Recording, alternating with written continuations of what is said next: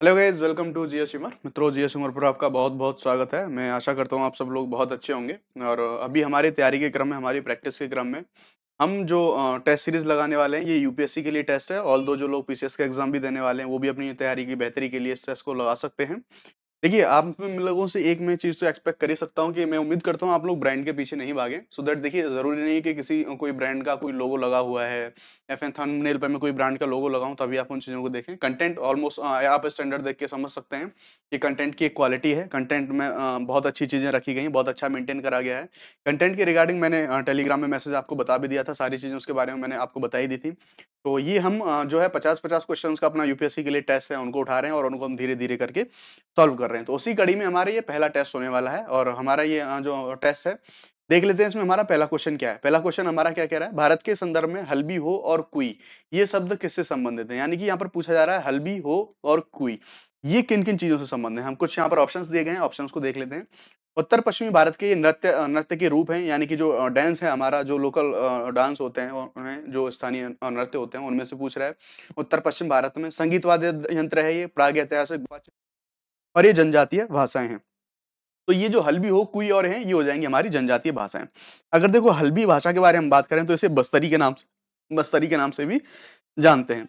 बस्तरी भाषा, बस्तरी यानी कि बस्तर वाला, छत्तीसगढ़ वाला एरिया, वहाँ से आप इसको कनेक्ट कर सकते हैं, ठीक है? और ये एक जो पूर्व इंडो आर्यन भाषा है, ठीक है? और ये ट्राइबल्स के द्वारा बोली जाने वाली एक भाषा है, ठीक है? तो अगर इसके यूज़ की बात करें तो मुख्य रूप से जो मौखिक भाषा के रूप में हम इसका यूज़ करते हैं, लेकिन जो हम देखते हैं विशेष रूप से व्यापार के लिए और कुछ हल्बी बोलने वाले अपनी जो भाषा पढ़ और लिख सकते हैं, ठीक है? हो की बात करें तो हो है, ये भी एक जो ट्राइबल लैंग्वेज है, और इसकी बात करें तो ये वारंग लिपि में इसको लिखा जाता है, और ये हो लैंग्वेज है, ओडिशा और झारखंड में रहने वाले लोगों के द्वारा इसको बोला जाता है, ठीक है?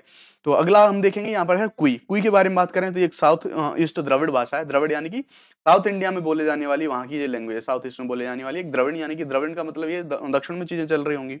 वहाँ जो कांधों के द्वारा बोली जाती है, ठीक है? और ये ज़्यादातर अगर इसकी बात करें तो ओडिशा में बोली जो है बोली जाती है अभी प्रेजेंट में अगर हम बात करें तो। और अगर इसको लेखें देखें इसकी लेखनी तो ये ओडिया जो हमारी लिपि है, ओडिया लिपि में हम इसको जो कोई लैंग्वेज है, इसको लिखते हैं। तो हमने यहाँ देख लिया कि ये जितने भी कीवर्ड दिए गए थे, ये जो है ट्राइबल लैंग्वेज से संबंधित होते हैं, ठीक है? चलिए, हम आगे दूसरे क्वेश्चन की ओर मूव करेंगे। दूसरे क्वेश्चन पर मूव करने से पहले मैं थोड़ा सा आपको इसको सही से लगा लेता हूँ। चलिए मूव करते हैं दूसरे क्वेश्चन पे। दूसरा क्वेश्चन देख लेते हैं हमारा। दूसरा क्वेश्चन है यहाँ पर, भारत में जो है अनुसूचित जनजातियों के संदर्भ में निम्न कथनों पर हमें विचार करना है। यानी कि जो एसटीज हैं एसटीज के संदर्भ में हमें चीज़ें बतानी है। देख लेते हैं जो हमें चार ऑप्शन है हमारे सामने, इन ऑप्शन को देख लेंगे। पहला ऑप्शन दूसरे स्टेटमेंट में अगर पहला ऑप्शन देखें तो एसटीज के संबंध में बताना है। पहला स्टेटमेंट है, केवल संसद ही कानून के माध्यम से समुदायों को जोड़कर या हटाकर अनुसूचित जनजातियों की सूची में संशोधन कर सकती है, और यहाँ पर पूछ रहा है हमसे सही। ठीक है? तो ये हमारा जो पहला हो जाएगा, बिल्कुल सही हमारा पहला स्टेटमेंट है, सही हो जाएगा। संसद को ही ये अधिकार है, वो भी विधि के द्वारा, कानून बनाने के द्वारा जो समुदाय है, उनको जोड़कर या उनको हटाकर जो एस की जो लिस्ट बनाई जाती है, उसमें संशोधन करने का राइट केवल संसद को ही है। ठीक है? पहला हो जाएगा हमारा सही। दूसरा दूसरे स्टेटमेंट की हम बात करें तो दूसरे स्टेटमेंट कह रहा है, नवीनतम जनगणना के अनुसार भारत में जनजातीय जनसंख्या घटकर कुल जनसंख्या का सात परसेंट से भी कम रह गई है। तो भाई दूसरे स्टेटमेंट में अगर आप ये ना देखें कि डेटा दिया गया है तो वो दूसरा स्टेटमेंट सही ही होगा। ये दूसरा स्टेटमेंट है हमारा गलत, ठीक है? अगर हम बात करें तो अभी ये जो हमारा सेंसस है, इसके अकॉर्डिंगली हम बात करें तो ये 705 विशिष्ट जातीय समूह इसमें शामिल है। अगर हम बात करें 2011 के सेंसस की तो भारत की जनजातीय आबादी की बात करेंगे तो दस करोड़ के समथिंग है। और ये कुल होगा हमारा, कुल आबादी का एट जो परसेंट है, ये बनेगा, ठीक है? यहाँ पर सात दे रखा है, लेकिन ये कुल आबादी का बन जाएगा हमारा एट जो है सिक्स ठीक है? और ये ज़्यादातर जो ट्राइबल्स हैं, सीधी सी बात है, लगभग नब्बे परसेंट ये जो ट्राइबल्स हैं, ये जो ग्रामीण क्षेत्रों में रहते हैं। बाकी जिसमें, बाकी जो बचे हुए रिमेनिंग वो सारे, वो शहरी क्षेत्रों में आते हैं।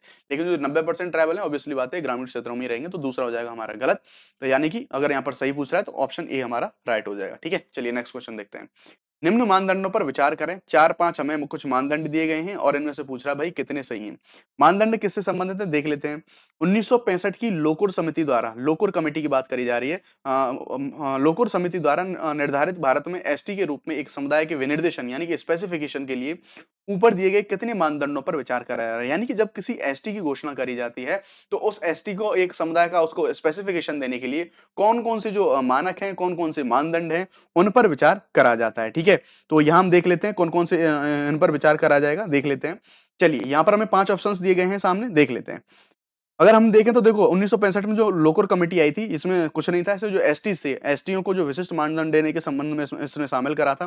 तो यहाँ पर पहला ऑप्शन दे रखा है हमें, आदम लक्षणों के संकेत। तो बिल्कुल, किसी जन, किसी समुदाय को एसटी तभी घोषित करा जाएगा जब उसमें आदम लक्षणों के संकेत अवेलेबल होंगे। तो पहला स्टेटमेंट तो हमारा डेफिनेटली होगा। दूसरा, भौगोलिक अलगाव दे रखा है तो बिल्कुल सही बात है।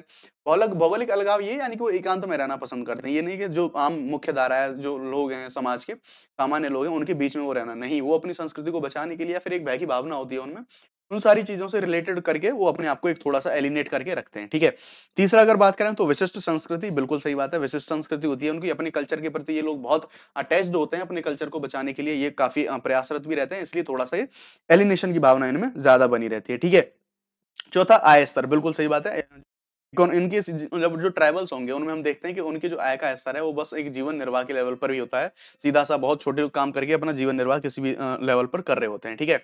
और बड़े पैमाने पर समुदाय के साथ संपर्क में संकोच, अगर इसकी बात करें तो ये संपर्क में जो है संकोच हाँ बिल्कुल सही बात है।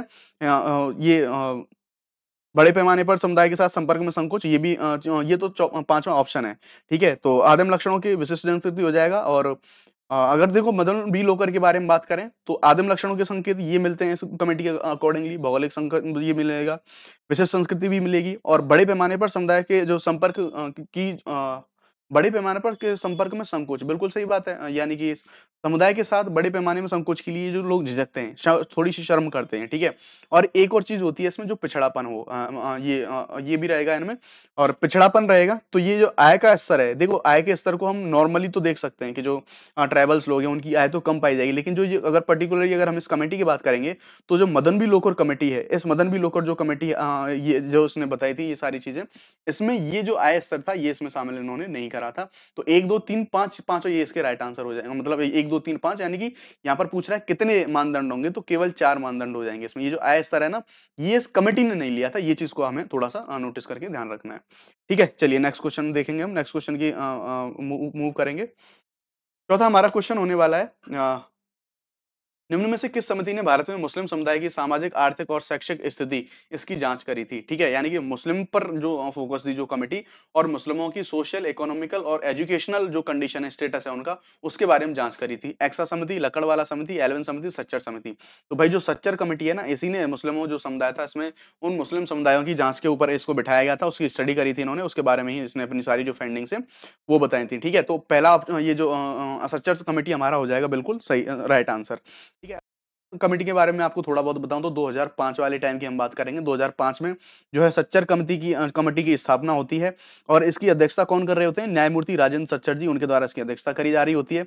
2006 में इस कमेटी ने अपनी रिपोर्ट को प्रस्तुत करा था और ये सारी स्टडी इसने अपने निकाल के दी थी और इसमें जो सच्चर कमेटी है उसने ये भी बोला था मुस्लिम लोगों के बारे में कि इसमें समान अवसर आयोग की स्थापना और शिक्षा और रोज़गार यहाँ तक बेहतर पहुँचे, ये सारी शामिल है।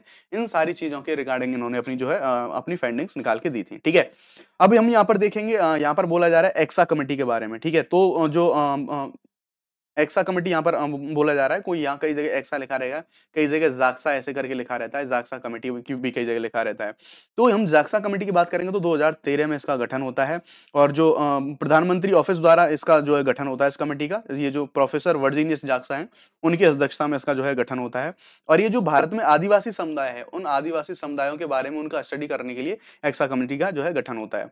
लकड़वाला कमेटी का देखेंगे तो ये तो आपको गरीबी से संबंधित है ना? जो मैंने आपको पहले टेस्टों में मैंने आपको एक अल्ट्रा नाम की ट्रिक बताई थी। गरीबी से संबंधित जितनी भी जो हमारी कमिटीज होती हैं उनके कालक्रम से संबंधित मैंने आपको ट्रिक बताई थी। ठीक है? एक आता है हमारा एलवन कमेटी। तो एलवन कमेटी के हम बारे में बात करेंगे तो एलवन कमेटी को देखेंगे हम 1959 में इस कमेटी का जो है गठन होता है। एलवन कमेटी जो आती है 1959 में इस कमेटी का गठन होता है और इसकी स्थापना बहुद्देशीय विकास खंडों के संचालन का आकलन करने के लिए करी गई थी। ठीक है?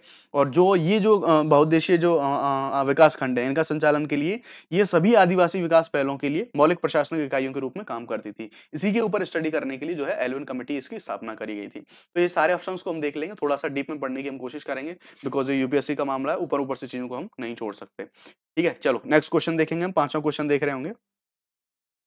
क्वेश्चन देख लेते हैं। पांचवा क्वेश्चन में हमारा क्या है? पाँचों क्वेश्चन में हमें चार स्टेटमेंट दिए गए हैं और क्या पूछ रहा है? भारत के संविधान के विभिन्न प्रावधानों में सामाजिक न्याय, यानी कि सोशल जस्टिस सुनिश्चित किया गया है। इस संदर्भ में निम्न में से कौन सामाजिक न्याय शब्द को सबसे अच्छी तरह दर्शाता है? देखो एनसीईआरटी टाइप का क्वेश्चन है। सीधा सीधा पूछा जा रहा है। ये जो टर्म है टर्म से क्वेश्चन पूछा जा रहा है कि सोशल जस्टिस को एग्जैक्टली कौन सा जो स्टेटमेंट है, इनमें से जो सही तरीके से जो है ये जो इसको डिफाइन करेगा। तो देखो भाई, सामाजिक न्याय कुछ नहीं होता। सामाजिक न्याय का मतलब ये है, सबको साथ बराबरी, कोई ऊपर नीचे नहीं होना चाहिए। सभी को संसाधन बराबर पहुँचने मिलने चाहिए। ये नहीं है सामाजिक संसाधनों का जो कुछ रिपोर्ट्स आती हैं कि भारत में जो कुछ अमीर लोग हैं, उन्हीं के पास सारे जो संसाधन है वो जमा हो रखे हैं और ज़्यादातर जो जनसंख्या है, उसके पास संसाधन कुछ भी नहीं है, वो लोग गरीब है ना? तो ये सोशल जस्टिस यानी कि बराबर संसाधन होने चाहिए, इसको बोलेंगे हम सामाजिक न्याय। चलिए, सभी व्यक्तियों के लिए समान परिणामों की गारंटी देना, परिणामों के बारे में हम कुछ नहीं कह सकते। उन बाधाओं को समाप्त करना जो नागरिकों को नुकसान पहुँचा सकते हैं, बिल्कुल नहीं।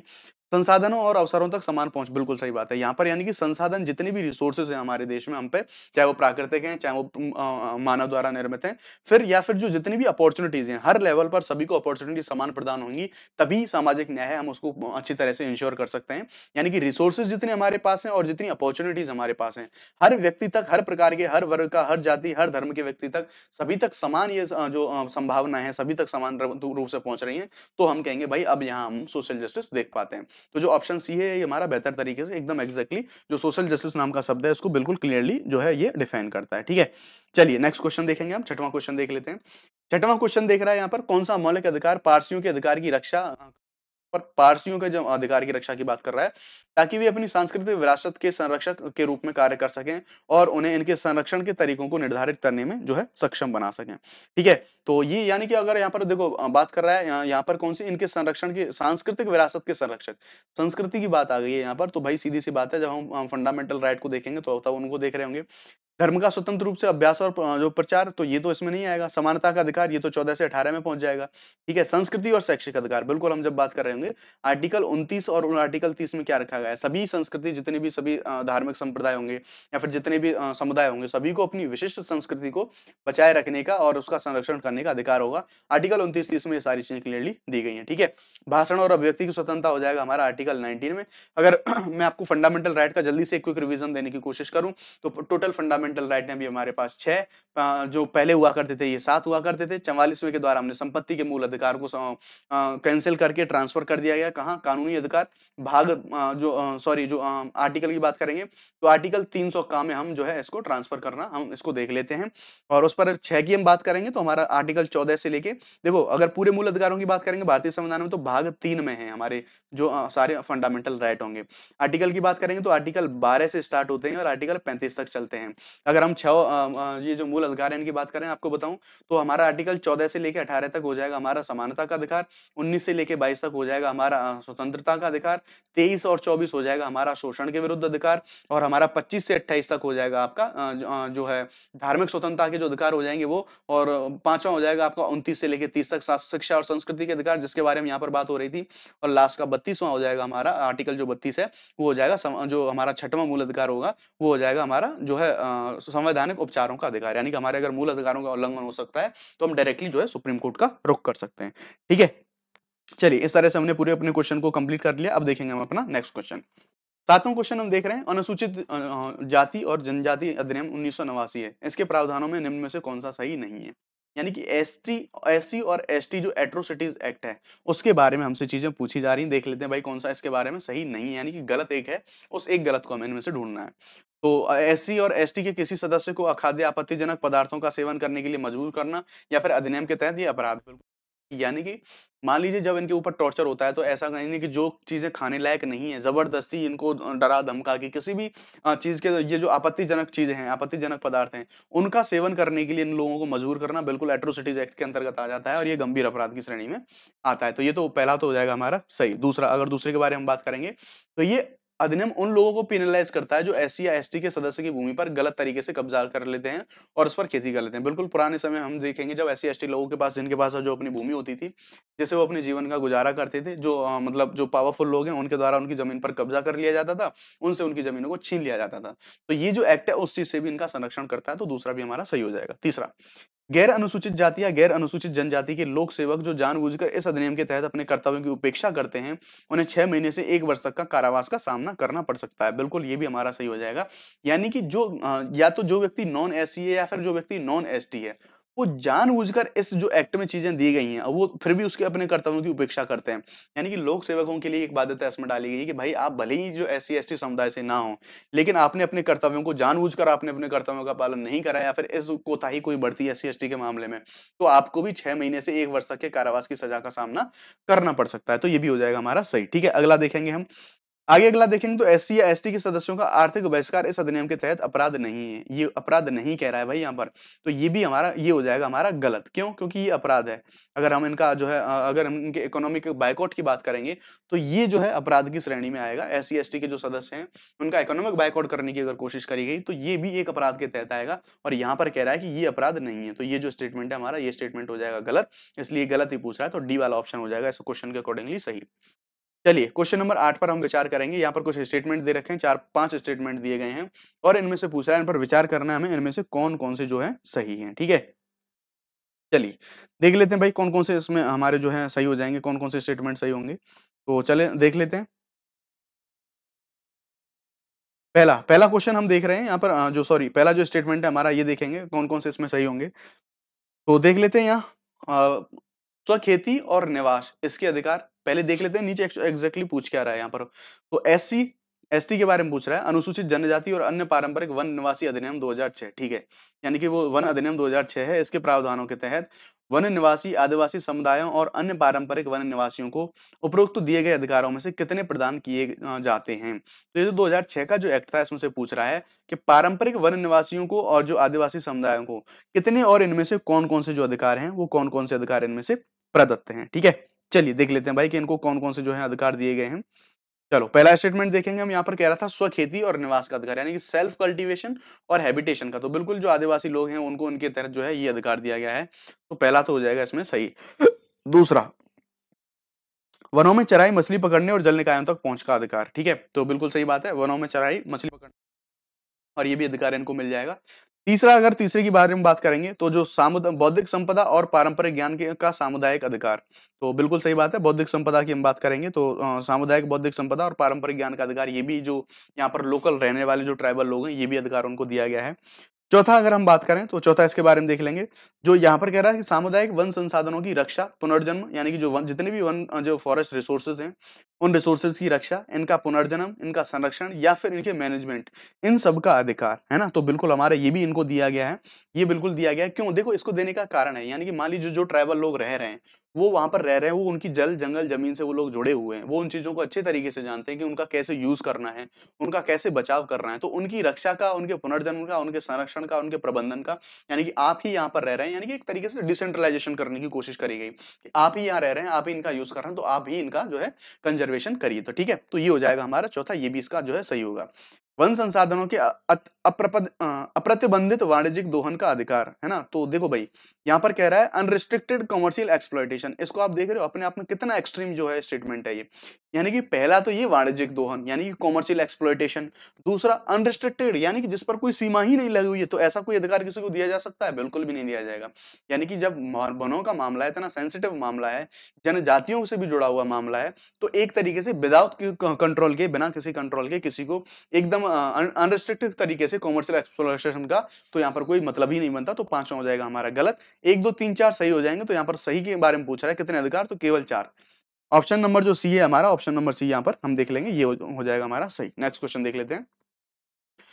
नेक्स्ट क्वेश्चन देखेंगे, क्या पूछ रहा है? भारत में जन्म दर और मृत्यु दर के संदर्भ में निम्न कथनों पर विचार करना है और यहाँ पर हमसे पूछ रहा है कि इनमें से कितने सही हैं, ठीक है? जन्म दर और मृत्यु दर के बारे में देख लेंगे भाई, इनमें से इनमें से देख लेंगे कौन से सही है, कौन से गलत है। पहला, जन्म दर के विपरीत पिछले कुछ दशकों में भारत में मृत्यु दर में तेज गिरावट दर्ज नहीं की गई है, नहीं दे रखा है यहाँ पर, इस चीज़ को हम ध्यान में रखेंगे। तो भाई देखो हाँ, बिल्कुल सही बात है ये नहीं नहीं है बल्कि ऐसा हुआ है एग्जैक्टली तो ये हमारा जो ऑप्शन है ये हो जाएगा गलत। कैसे? कि जो जन्म दर के विपरीत हुआ क्या है पिछले कुछ दशकों में भारत में मृत्यु दर में तेज गिरावट दर्ज करी गई है यानी कि जन्म दर तो कम हुई है जन्म दर के पीछे कम होने के कारण ये लोग शिक्षित हुए हैं अपने जो है चीज़ों के प्रति जागरूक हुए हैं आवश्यकताओं को बच्चों को क्वालिटेटिव लाइफ देना चाहते हैं और जो मृत्यु दर है उसमें जो है मतलब जन्म दर में तो जो गिरावट की हम बात करेंगे तो जन्म दर में तो गिरावट हुई है मतलब जन्म दर में तो ये यहाँ पर कहना चाह रहा है इसके विपरीत।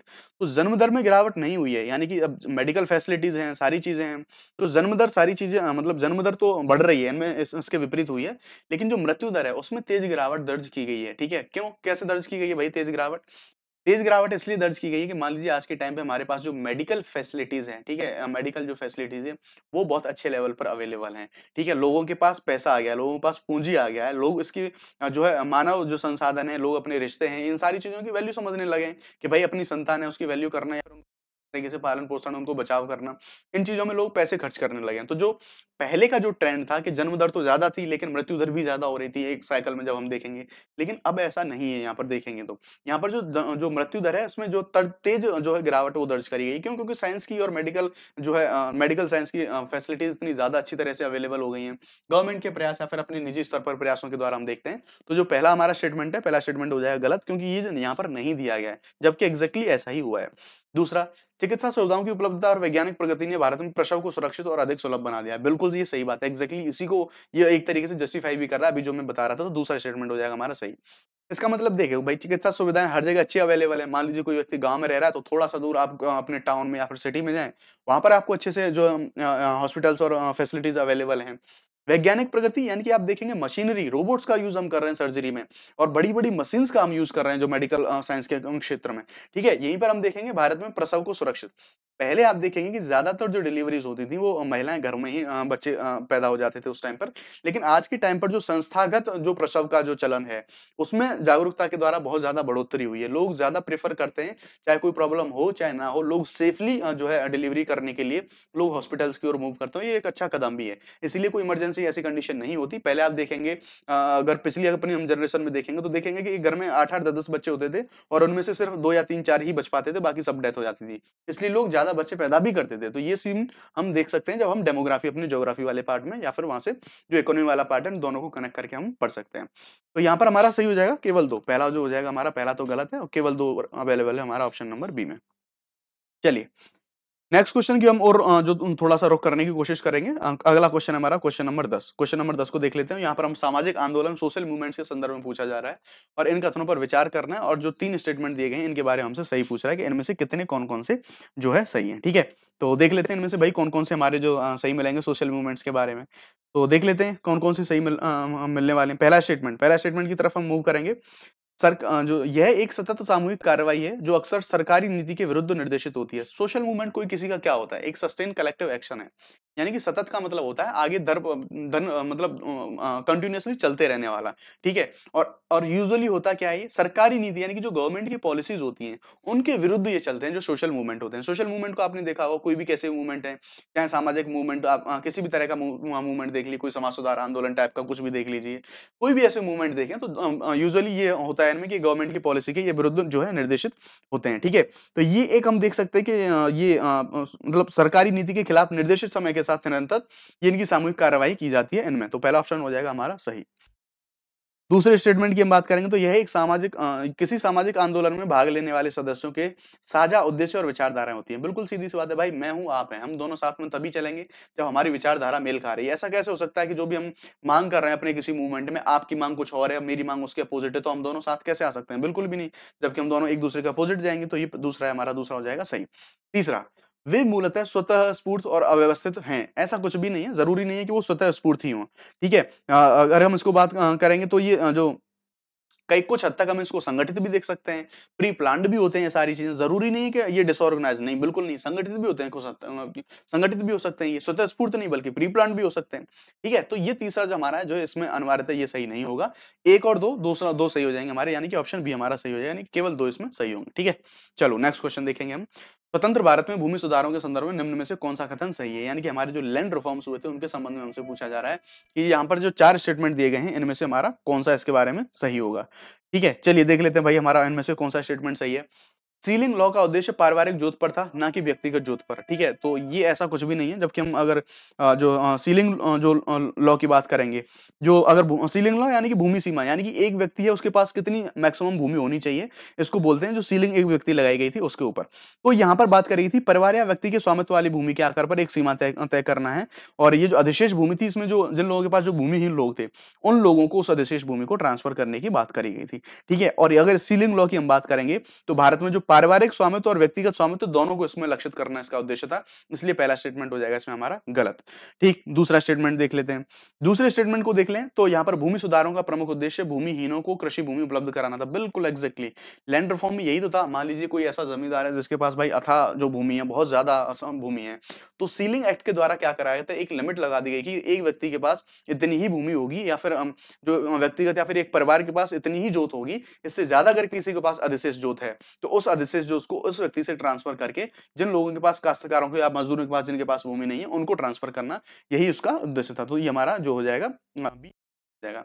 नकदी फ़सलों की खेती प्रमुख रूप से खेती के रूप में सामने है ये ऐसा सीलिंग रूप में ऐसा कुछ भी नहीं हुआ था।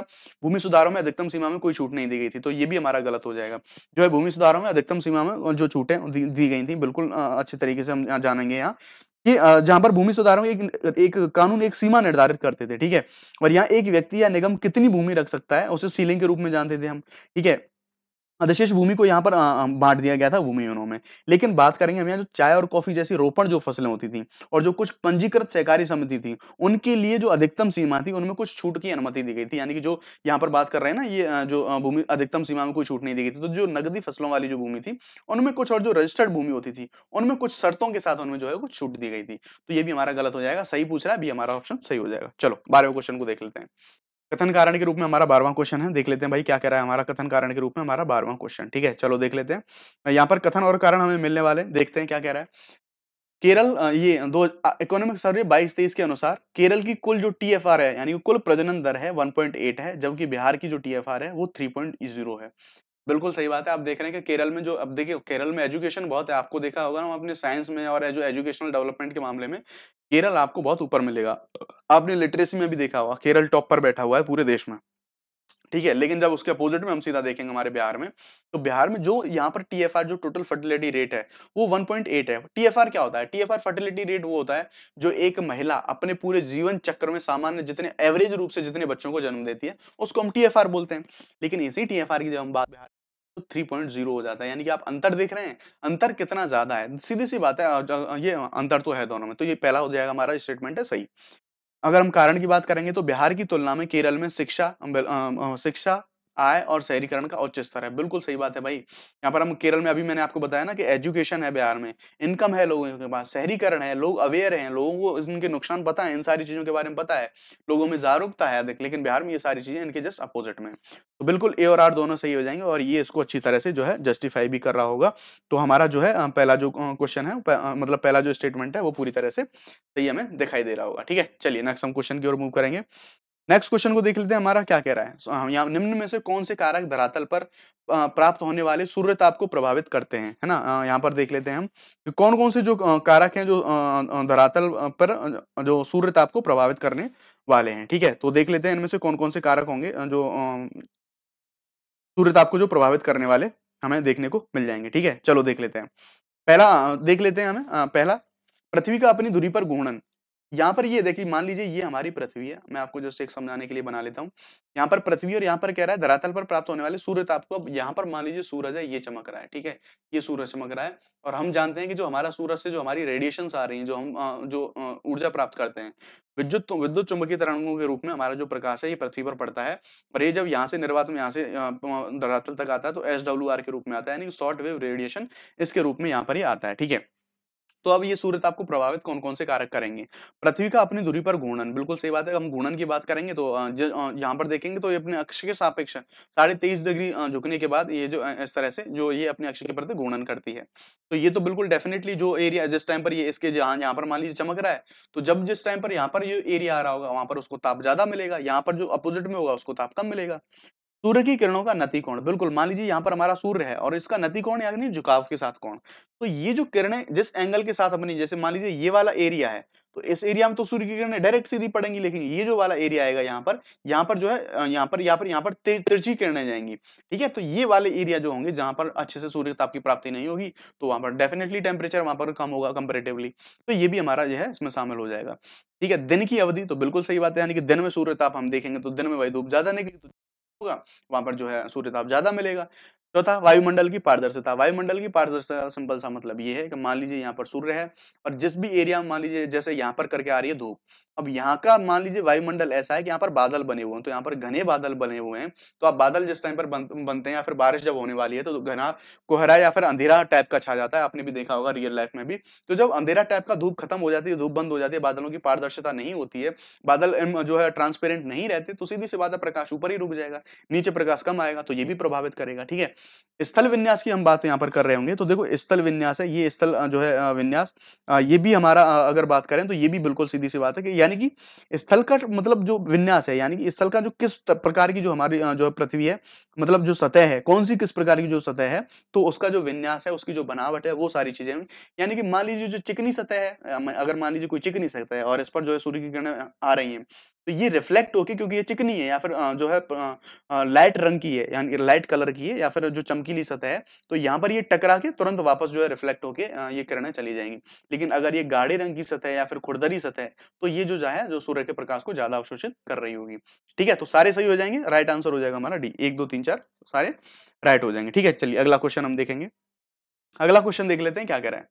सीढ़ीदार खेती के निर्माण के बारे में पूछ रहा है हमसे है ना? सीढ़ीदार खेती जिसे हम टेरेस फ़ार्मिंग कहते हैं टेरेसिंग फ़ार्मिंग टेरेस फ़ार्मिंग का आ, मतलब टेरेसिंग बोल रहे हैं सीढ़ीदार खेती का निर्माण।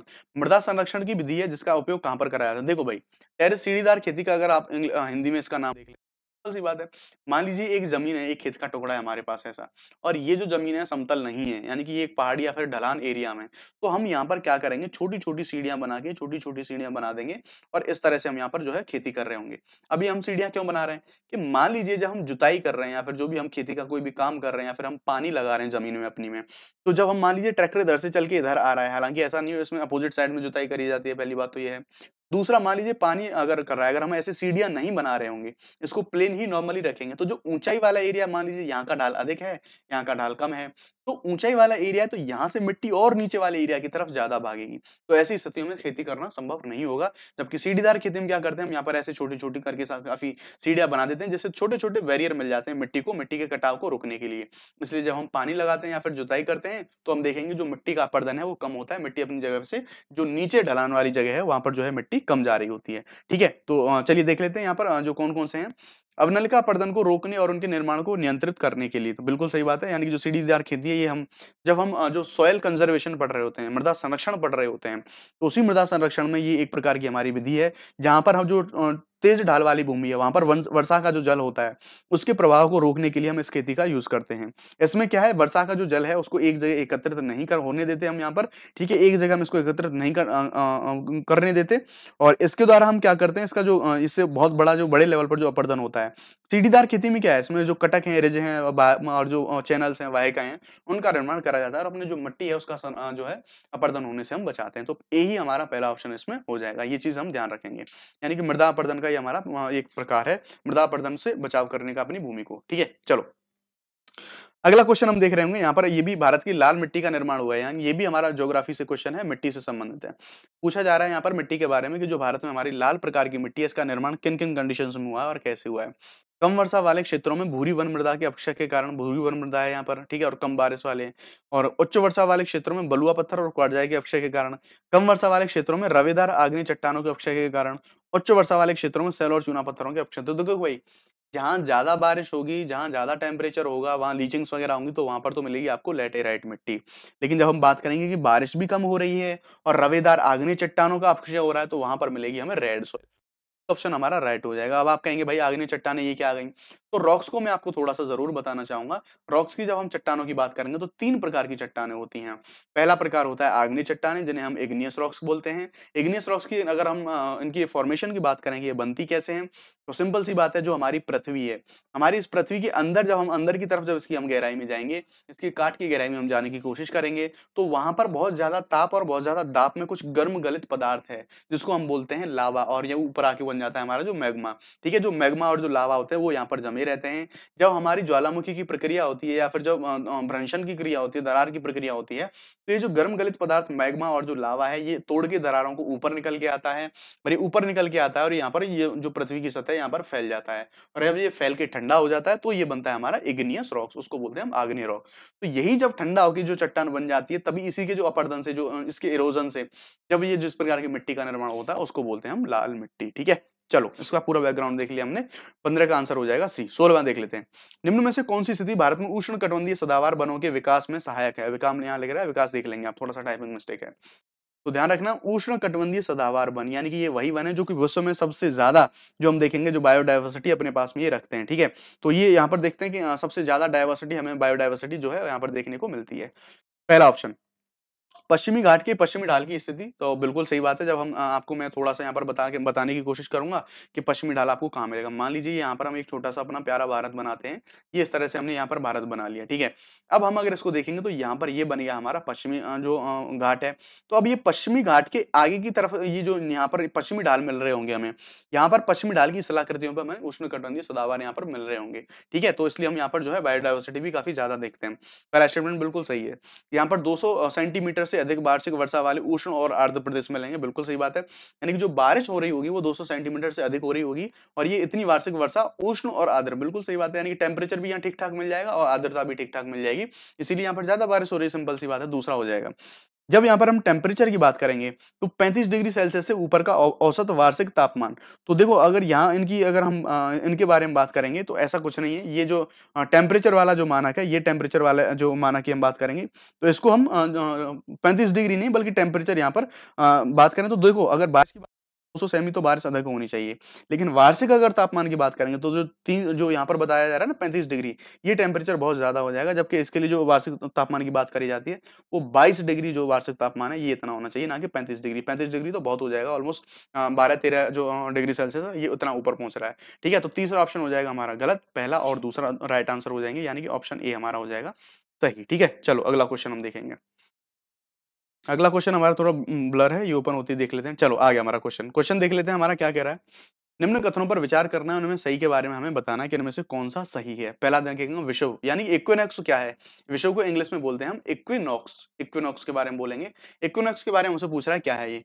विषव के दौरान होता क्या है? दुनिया के सभी हिस्सों में दिन और रात बराबर होते हैं। बिल्कुल, इक्विनॉक्स उसी को बोलते हैं, यानी कि पूरी दुनिया के अंदर दिन और रात बराबर होंगे, उसी को हम बोलेंगे इक्विनॉक्स, ठीक है? तो ये होता है, और ये इक्विनॉक्स की अगर हम दिन की मैं आपको बताऊँ तो इक्विनॉक्स होता कब है? ये पृथ्वी पर तो आमतौर पर इक्कीस मार्च को और इक्कीस सितंबर को जो है, होता रहता है। हालाँकि ये कभी कभार ये जो तिथि है, वो भी बदल बदल जो है ये बदलती रहती है। ठीक है? तो ये जस्ट अ सेकेंड।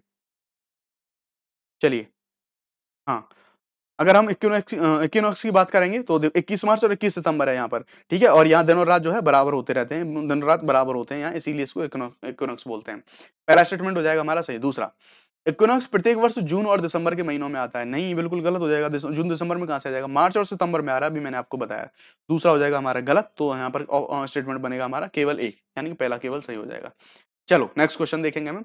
भूमध्य सागरीय क्षेत्र के संदर्भ में निम्न में से कौन सी ठंडी स्थानीय पवन है? जब देखो लोकल विंड्स आती है ना, और यहाँ पर पूछा जा रहा है जो हमारा भूमध्य सागरीय क्षेत्र है इनके संदर्भ में, निम्न में से कौन सी ठंडी जो है स्थानीय पवन है? लोकल विंड से डेफिनेटली कोई ना कोई क्वेश्चन पूछा ही जाता है हर बार, कभी गर्म से पूछ लेगा, कभी ठंडी से पूछ लेगा। यहाँ पर पूछा जा रहा है कि जो लोकल विंड है, उनमें से कौन कौन सी जो लोकल विंड है, और ये भूमध्य सागर के आसपास कौन सी बह रही है, ठीक है? तो दिए गए हमारे पास सिरोको है, मिस्ट्रल है, और बोरा। और पूछा जा रहा है हमें यहाँ पर इनमें से ठंडी में से। तो भाई ठंडी कौन कौन सी है? मिस्ट्रल है हमारी और जो बोरा है, ये दोनों जो है हमें मिल जाएँगी हमारी, जो ठंडी पवने हैं वो मिल जाएँगी। ठीक है, लेकिन जब हम जो सिरोको की बात करेंगे तो ये जो सिरोको हो जाती है हमारी, एक गर्म यानी कि जो है गर्म स्थानीय पवन हो जाती है सिरोको, और ये बहती का है? सहारा से भूमध्य सागर के बीच में बहती है और इसको यहाँ पर बोलते हैं हम ब्लड, जो है ब्लड रेन करके यहाँ पर हम बोल रहे होते हैं इसको। ठीक है तो इस तरह से हमने देख लिया, जो ठंडी हमारी मिस्ट्रल और बोरा यही दोनों हो जाएँगी। ठीक है तो और ये जो सिरों को मैंने बताया तो मरुस्थल में गर्म और शुष्क धूल भरी जो पवन हो जाती हैं, जो मैंने बात बता दिया आपको कहाँ कहाँ फ्लो करेंगे। मिस्ट्रल की मैं आपको बताऊँ तो भूमध्य सागर से, के उत्तर से आने वाली ये ठंडी पवनें होती हैं यहाँ पर, और जो रोन घाटी है वहाँ पर ये जो है प्रभावित होने को हमें देखने को मिलती हैं, ठीक है? और यहाँ पर अगर इसके देखें तो इसका प्रभाव इतना ज़्यादा होता है मिस्ट्रल का, कि जहाँ जब ये चल रही होती है ना तो इनका इतना इफ़ेक्ट होता है कि जो ट्रेन है अपनी पटरी से भी उतर जाती है इसके प्रभाव के कारण, इतनी तेज चलती है, पेड़ वेड़ भी उखड़ जाते हैं तो काफ़ी खतरनाक कंडीशन होती है। बोरा की बात करेंगे तो ये मिस्टल के समान प्रकृति की ठंडी और जो उत्तर पूर्वी पवन होती है ये, और ये एड्रियाटिक तट पर ये जो वायु एड्रियाटिक तट है, वहाँ पर ये फ्लो कर रही होती है, ठीक है? इस ये जो इस समय होता क्या है महाद्वीपीय जो यूरोप है वहाँ पर, वायुमंडलीय दाब भूमध्य सागर की तुलना में अधिक हो जाता है। ऐसी कंडीशन यहाँ पर ये जो हमारी स्थानीय पवन है, ये बनाती है। दो और तीन हमारे सही हो जाएँगे पहले आ जाएगा हमारा गलत तो राइट आंसर हो जाएगा हमारा डी नेक्स्ट क्वेश्चन देख रहे हैं। निम्न युग्मों पर हमें विचार करना है। आगे हमें कुछ स्टेटमेंट दिए गए हैं, कुछ युग्मों पर हमें विचार करना है। एक, दो, कितने स्टेटमेंट देख लेते हैं। चलिए, यहाँ पर हमें चार स्टेटमेंट दिए गए हैं, देख लेते हैं कौन कौन से इसमें से सही है, ठीक है? चलो, पहला देख लेते हैं हम। यहाँ पर एक साइड में आपको जो है शिखर दिए गए हैं और यहाँ पर हमें इनकी जो है स्थिति देखने को मिलती है। तो ये कहाँ है? यहाँ पर थोड़ा सा ऊपर नीचे पहले इसके सामने ये देखेंगे, उसको दूसरे वाले के सामने नीचे वाला आ जाएगा। थोड़ा सा आप ऑपरेट करने की कोशिश करेंगे, हालाँकि मैं आपको बता दूँगा। ठीक है, चलो। देखो, अगर यहाँ पर सबसे पहले शिखर के बारे में बात कर रही, करी जा रही है महेंद्रगिरी के बारे में। तो महेंद्रगिरी को मैं आपको बताऊँ तो महेंद्रगिरी के बारे में पहले हम ये देख लेते हैं कि ये ओडिशा राज्य में जो गजपति जिला है, वहाँ में जो रायगढ़ ब्लॉक है, वहाँ पर स्थित एक पर्वत है और ये पूर्वी घाट के हिस्से में आएगा। ओडिशा कहाँ है? पूर्वी घाट में आएगा। पूर्वी घाट का मैं आपको थोड़ा सा समझाने की कोशिश करूँ तो ये तो हमारा, इधर साइड तो था हमारा पश्चिमी घाट ये था हमारा पश्चिमी घाट, ये हो जाएगा हमारा पूर्वी घाट। तो ओडिशा का है हमारे? पूर्वी घाट में ही तो है। तो जो महेंद्रगिरी है, वो हमें यहाँ पर मिल जाएगी, ठीक है? और अगर बात करें तो ओडिशा का जो दूसरा बायोडाइवर्सिटी जो साइट है, ये यहाँ पर है, ठीक है? ऐसे ये जो हमारा महेंद्रगिरी पर्वत है इसे भारत के सात जो कुल पर्वत थे, उनमें से एक माना जाता है, ठीक है? तो महेंद्रगिरी पूर्वी घाट, पहला ऑप्शन हो जाएगा हमारा सही। दूसरा जो दूसरा दिया गया है हमें डोडा बेटा के बारे में तो डोडा बेटा देख लेते हैं भाई। डोडा बेटा है कहाँ? डोडा बेटा नीलगिरी जो हमारी पहाड़ियाँ वहाँ पर आपको देखने को मिलेगा।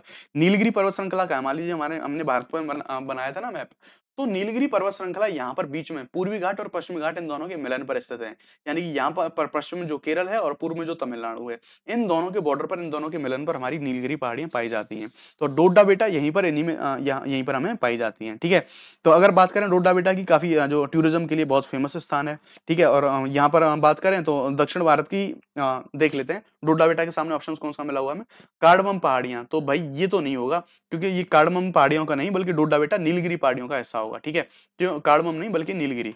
अनाईमुडी के बारे में बात करें तो अनाईमुडी है भाई जो हमारा अनाई, अगर देखो अनाईमुडी दे रखा है नीलगिरी के सामने, ये भी दे रखा है। तो ऑब्वियसली बात है ना, ये भी गलत हो जाएगा हमारा, ये भी गलत हो जाएगा हमारा, ठीक है? तो अगला हम देख लेते हैं धूपगढ़ की चोटी। तो आपने जो पंचमढ़ी पहाड़ियाँ हमने जो पंचमढ़ी और ये सारी मध्य प्रदेश वाली जो पहाड़ियाँ धूप मध्र के बारे में पूछ रहे हैं ना हाँ यहाँ पर धूप धूप मत बोल देता है कोई धूपगढ़ है इसको बेसिकली ये। धूपगढ़ है यहाँ पर या तो ये आ, मतलब कोई टाइपिंग मिस्टेक वगैरह हुई है। धूपगढ़ आप इसको पढ़ेंगे। तो धूपगढ़ की बात करें तो एमपी में जो महादेव पहाड़ियाँ ये इनका उच्चतम बिंदु है इनका सर्वोच्च पॉइंट है या सीधी सी बात है जो हाईएस्ट पीक है उनके बारे में पूछा जा रहा है। तो यहाँ पर जो महादेव पहाड़ियों का हाईएस्ट पीक होगा वो धूपगढ़ मिल जाएगा हमें। तो दो और तीन गलत थे यहाँ पर पूछ रहा है हमें सही पहला और चौथा जो है हमारे राइट आंसर हो जाएँगे यानी कि D option is right for the particular question ठीक है चलो नेक्स्ट देखेंगे हम अपना। देखो भाई, यहाँ पर आपको ना कुछ चीज़ें हैं इन, इनसे रिलेटेड पूछा जाता है। स्टेट वाइज भी या फिर जो पहाड़ियाँ उनमें से पीक पॉइंट्स ज़रूर पूछता है एग्ज़ाम में, कि कौन सी पहाड़ी का या फिर कौन से राज्य का सबसे जो पीक सबसे ऊँचा जो पॉइंट है, वो पॉइंट आपको मिलने वाला है, ठीक है? तो हम, मैं आपको कुछ दो चार जो मोस्ट इंपॉर्टेंट जो स्टेट है, उनके बारे में बता देता हूँ हमको उनका ज़रूर ही पता होना चाहिए, ठीक है? अगर मैं आपको बताऊँ यहाँ से बहुत ज़्यादा पूछा जाता है। तो उत्तराखंड का जो सर्वोच्च बिंदु होगा वो होगा नंदा देवी। आपको ये पता होना चाहिए ठीक है? अगर हम यहाँ से राजस्थान का देखें तो रा, राजस्थान का हो जाएगा हमारा गुरु शिखर ठीक है? गुरु शिखर हो जाएगा राजस्थान का। ये आप चीज़ ध्यान रख लेंगे एक ठीक? उसके बाद हम बात करेंगे तो हाँ हाँ हमारा यूके हो गया राजस्थान हो गया। उसके बाद कुछ और स्टेट्स हम देख लेंगे। बिहार की अगर सबसे ऊँची चोटी की बात करेंगे तो सोमेश्वर नाथ बीपीएससी के एग्ज़ाम में आ सकता है आप अगर देते हैं। तो जो सोमेश्वर पहाड़ी है ये सबसे ऊँचा पॉइंट हो जाएगा इसका। सिक्किम की अगर हम बात करेंगे तो सिक्किम का हाईएस्ट पॉइंट हो जाएगा हमारा कंचनजंगा। अरुणाचल प्रदेश की बात करेंगे तो कोंगटो हो जाएगा सबसे ऊँचा जो है ये सिस्टम इसका। ठीक है? और अंडमान की बात करेंगे तो अंडमान में सेडल पीक हो जाएगा सबसे ऊँचा। ठीक? और उसके बाद आ, हम बात कर रहे होंगे हाँ। तमिलनाडु की बात करेंगे तो तमिलनाडु हम देख ही चुके हैं। अभी डोडा बेट्टा हम बात कर चुके हैं तमिलनाडु में। और हम बात करें केरल की तो केरल का सबसे ऊँचा पॉइंट हो जाएगा, सबसे ऊँची पहाड़ी हो जाएगी अनाई मूडी, ठीक है? यहाँ पर तो इम्पोर्टेंट जो ज़्यादातर जो चीज़ें थी जो ज़्यादातर जो स्टेट से जो रिपीटेड मोड पर क्वेश्चन आते हैं, उनके बारे में मैंने आपको बता दिया है। तो आप इन चीज़ों को थोड़ा सा ध्यान से देख लेंगे। अगर आप अभी नहीं देख पाए इन चीज़ों को तो थोड़ा सा आप रिवर्स करके बैक जाके वहाँ से इनको अपने सही कर लेंगे इन चीज़ों को। ठीक है, चलिए भाई नेक्स्ट क्वेश्चन देखते हैं, बीसवा। भारत की जलोढ़ मृदाओं के संदर्भ में निम्न कथनों पर विचार करना है। दो स्टेटमेंट में दिए गए हैं, देख लेते हैं कौन से स्टेटमेंट सही होंगे। पहला देखते हैं, सही पूछ रहा है हमसे, ये निक्षेपण मृदाएँ हैं, जिन्हें नदी और सरिताओं द्वारा बहित या फिर निक्षेपित करा जाता है। बिल्कुल सही बात है।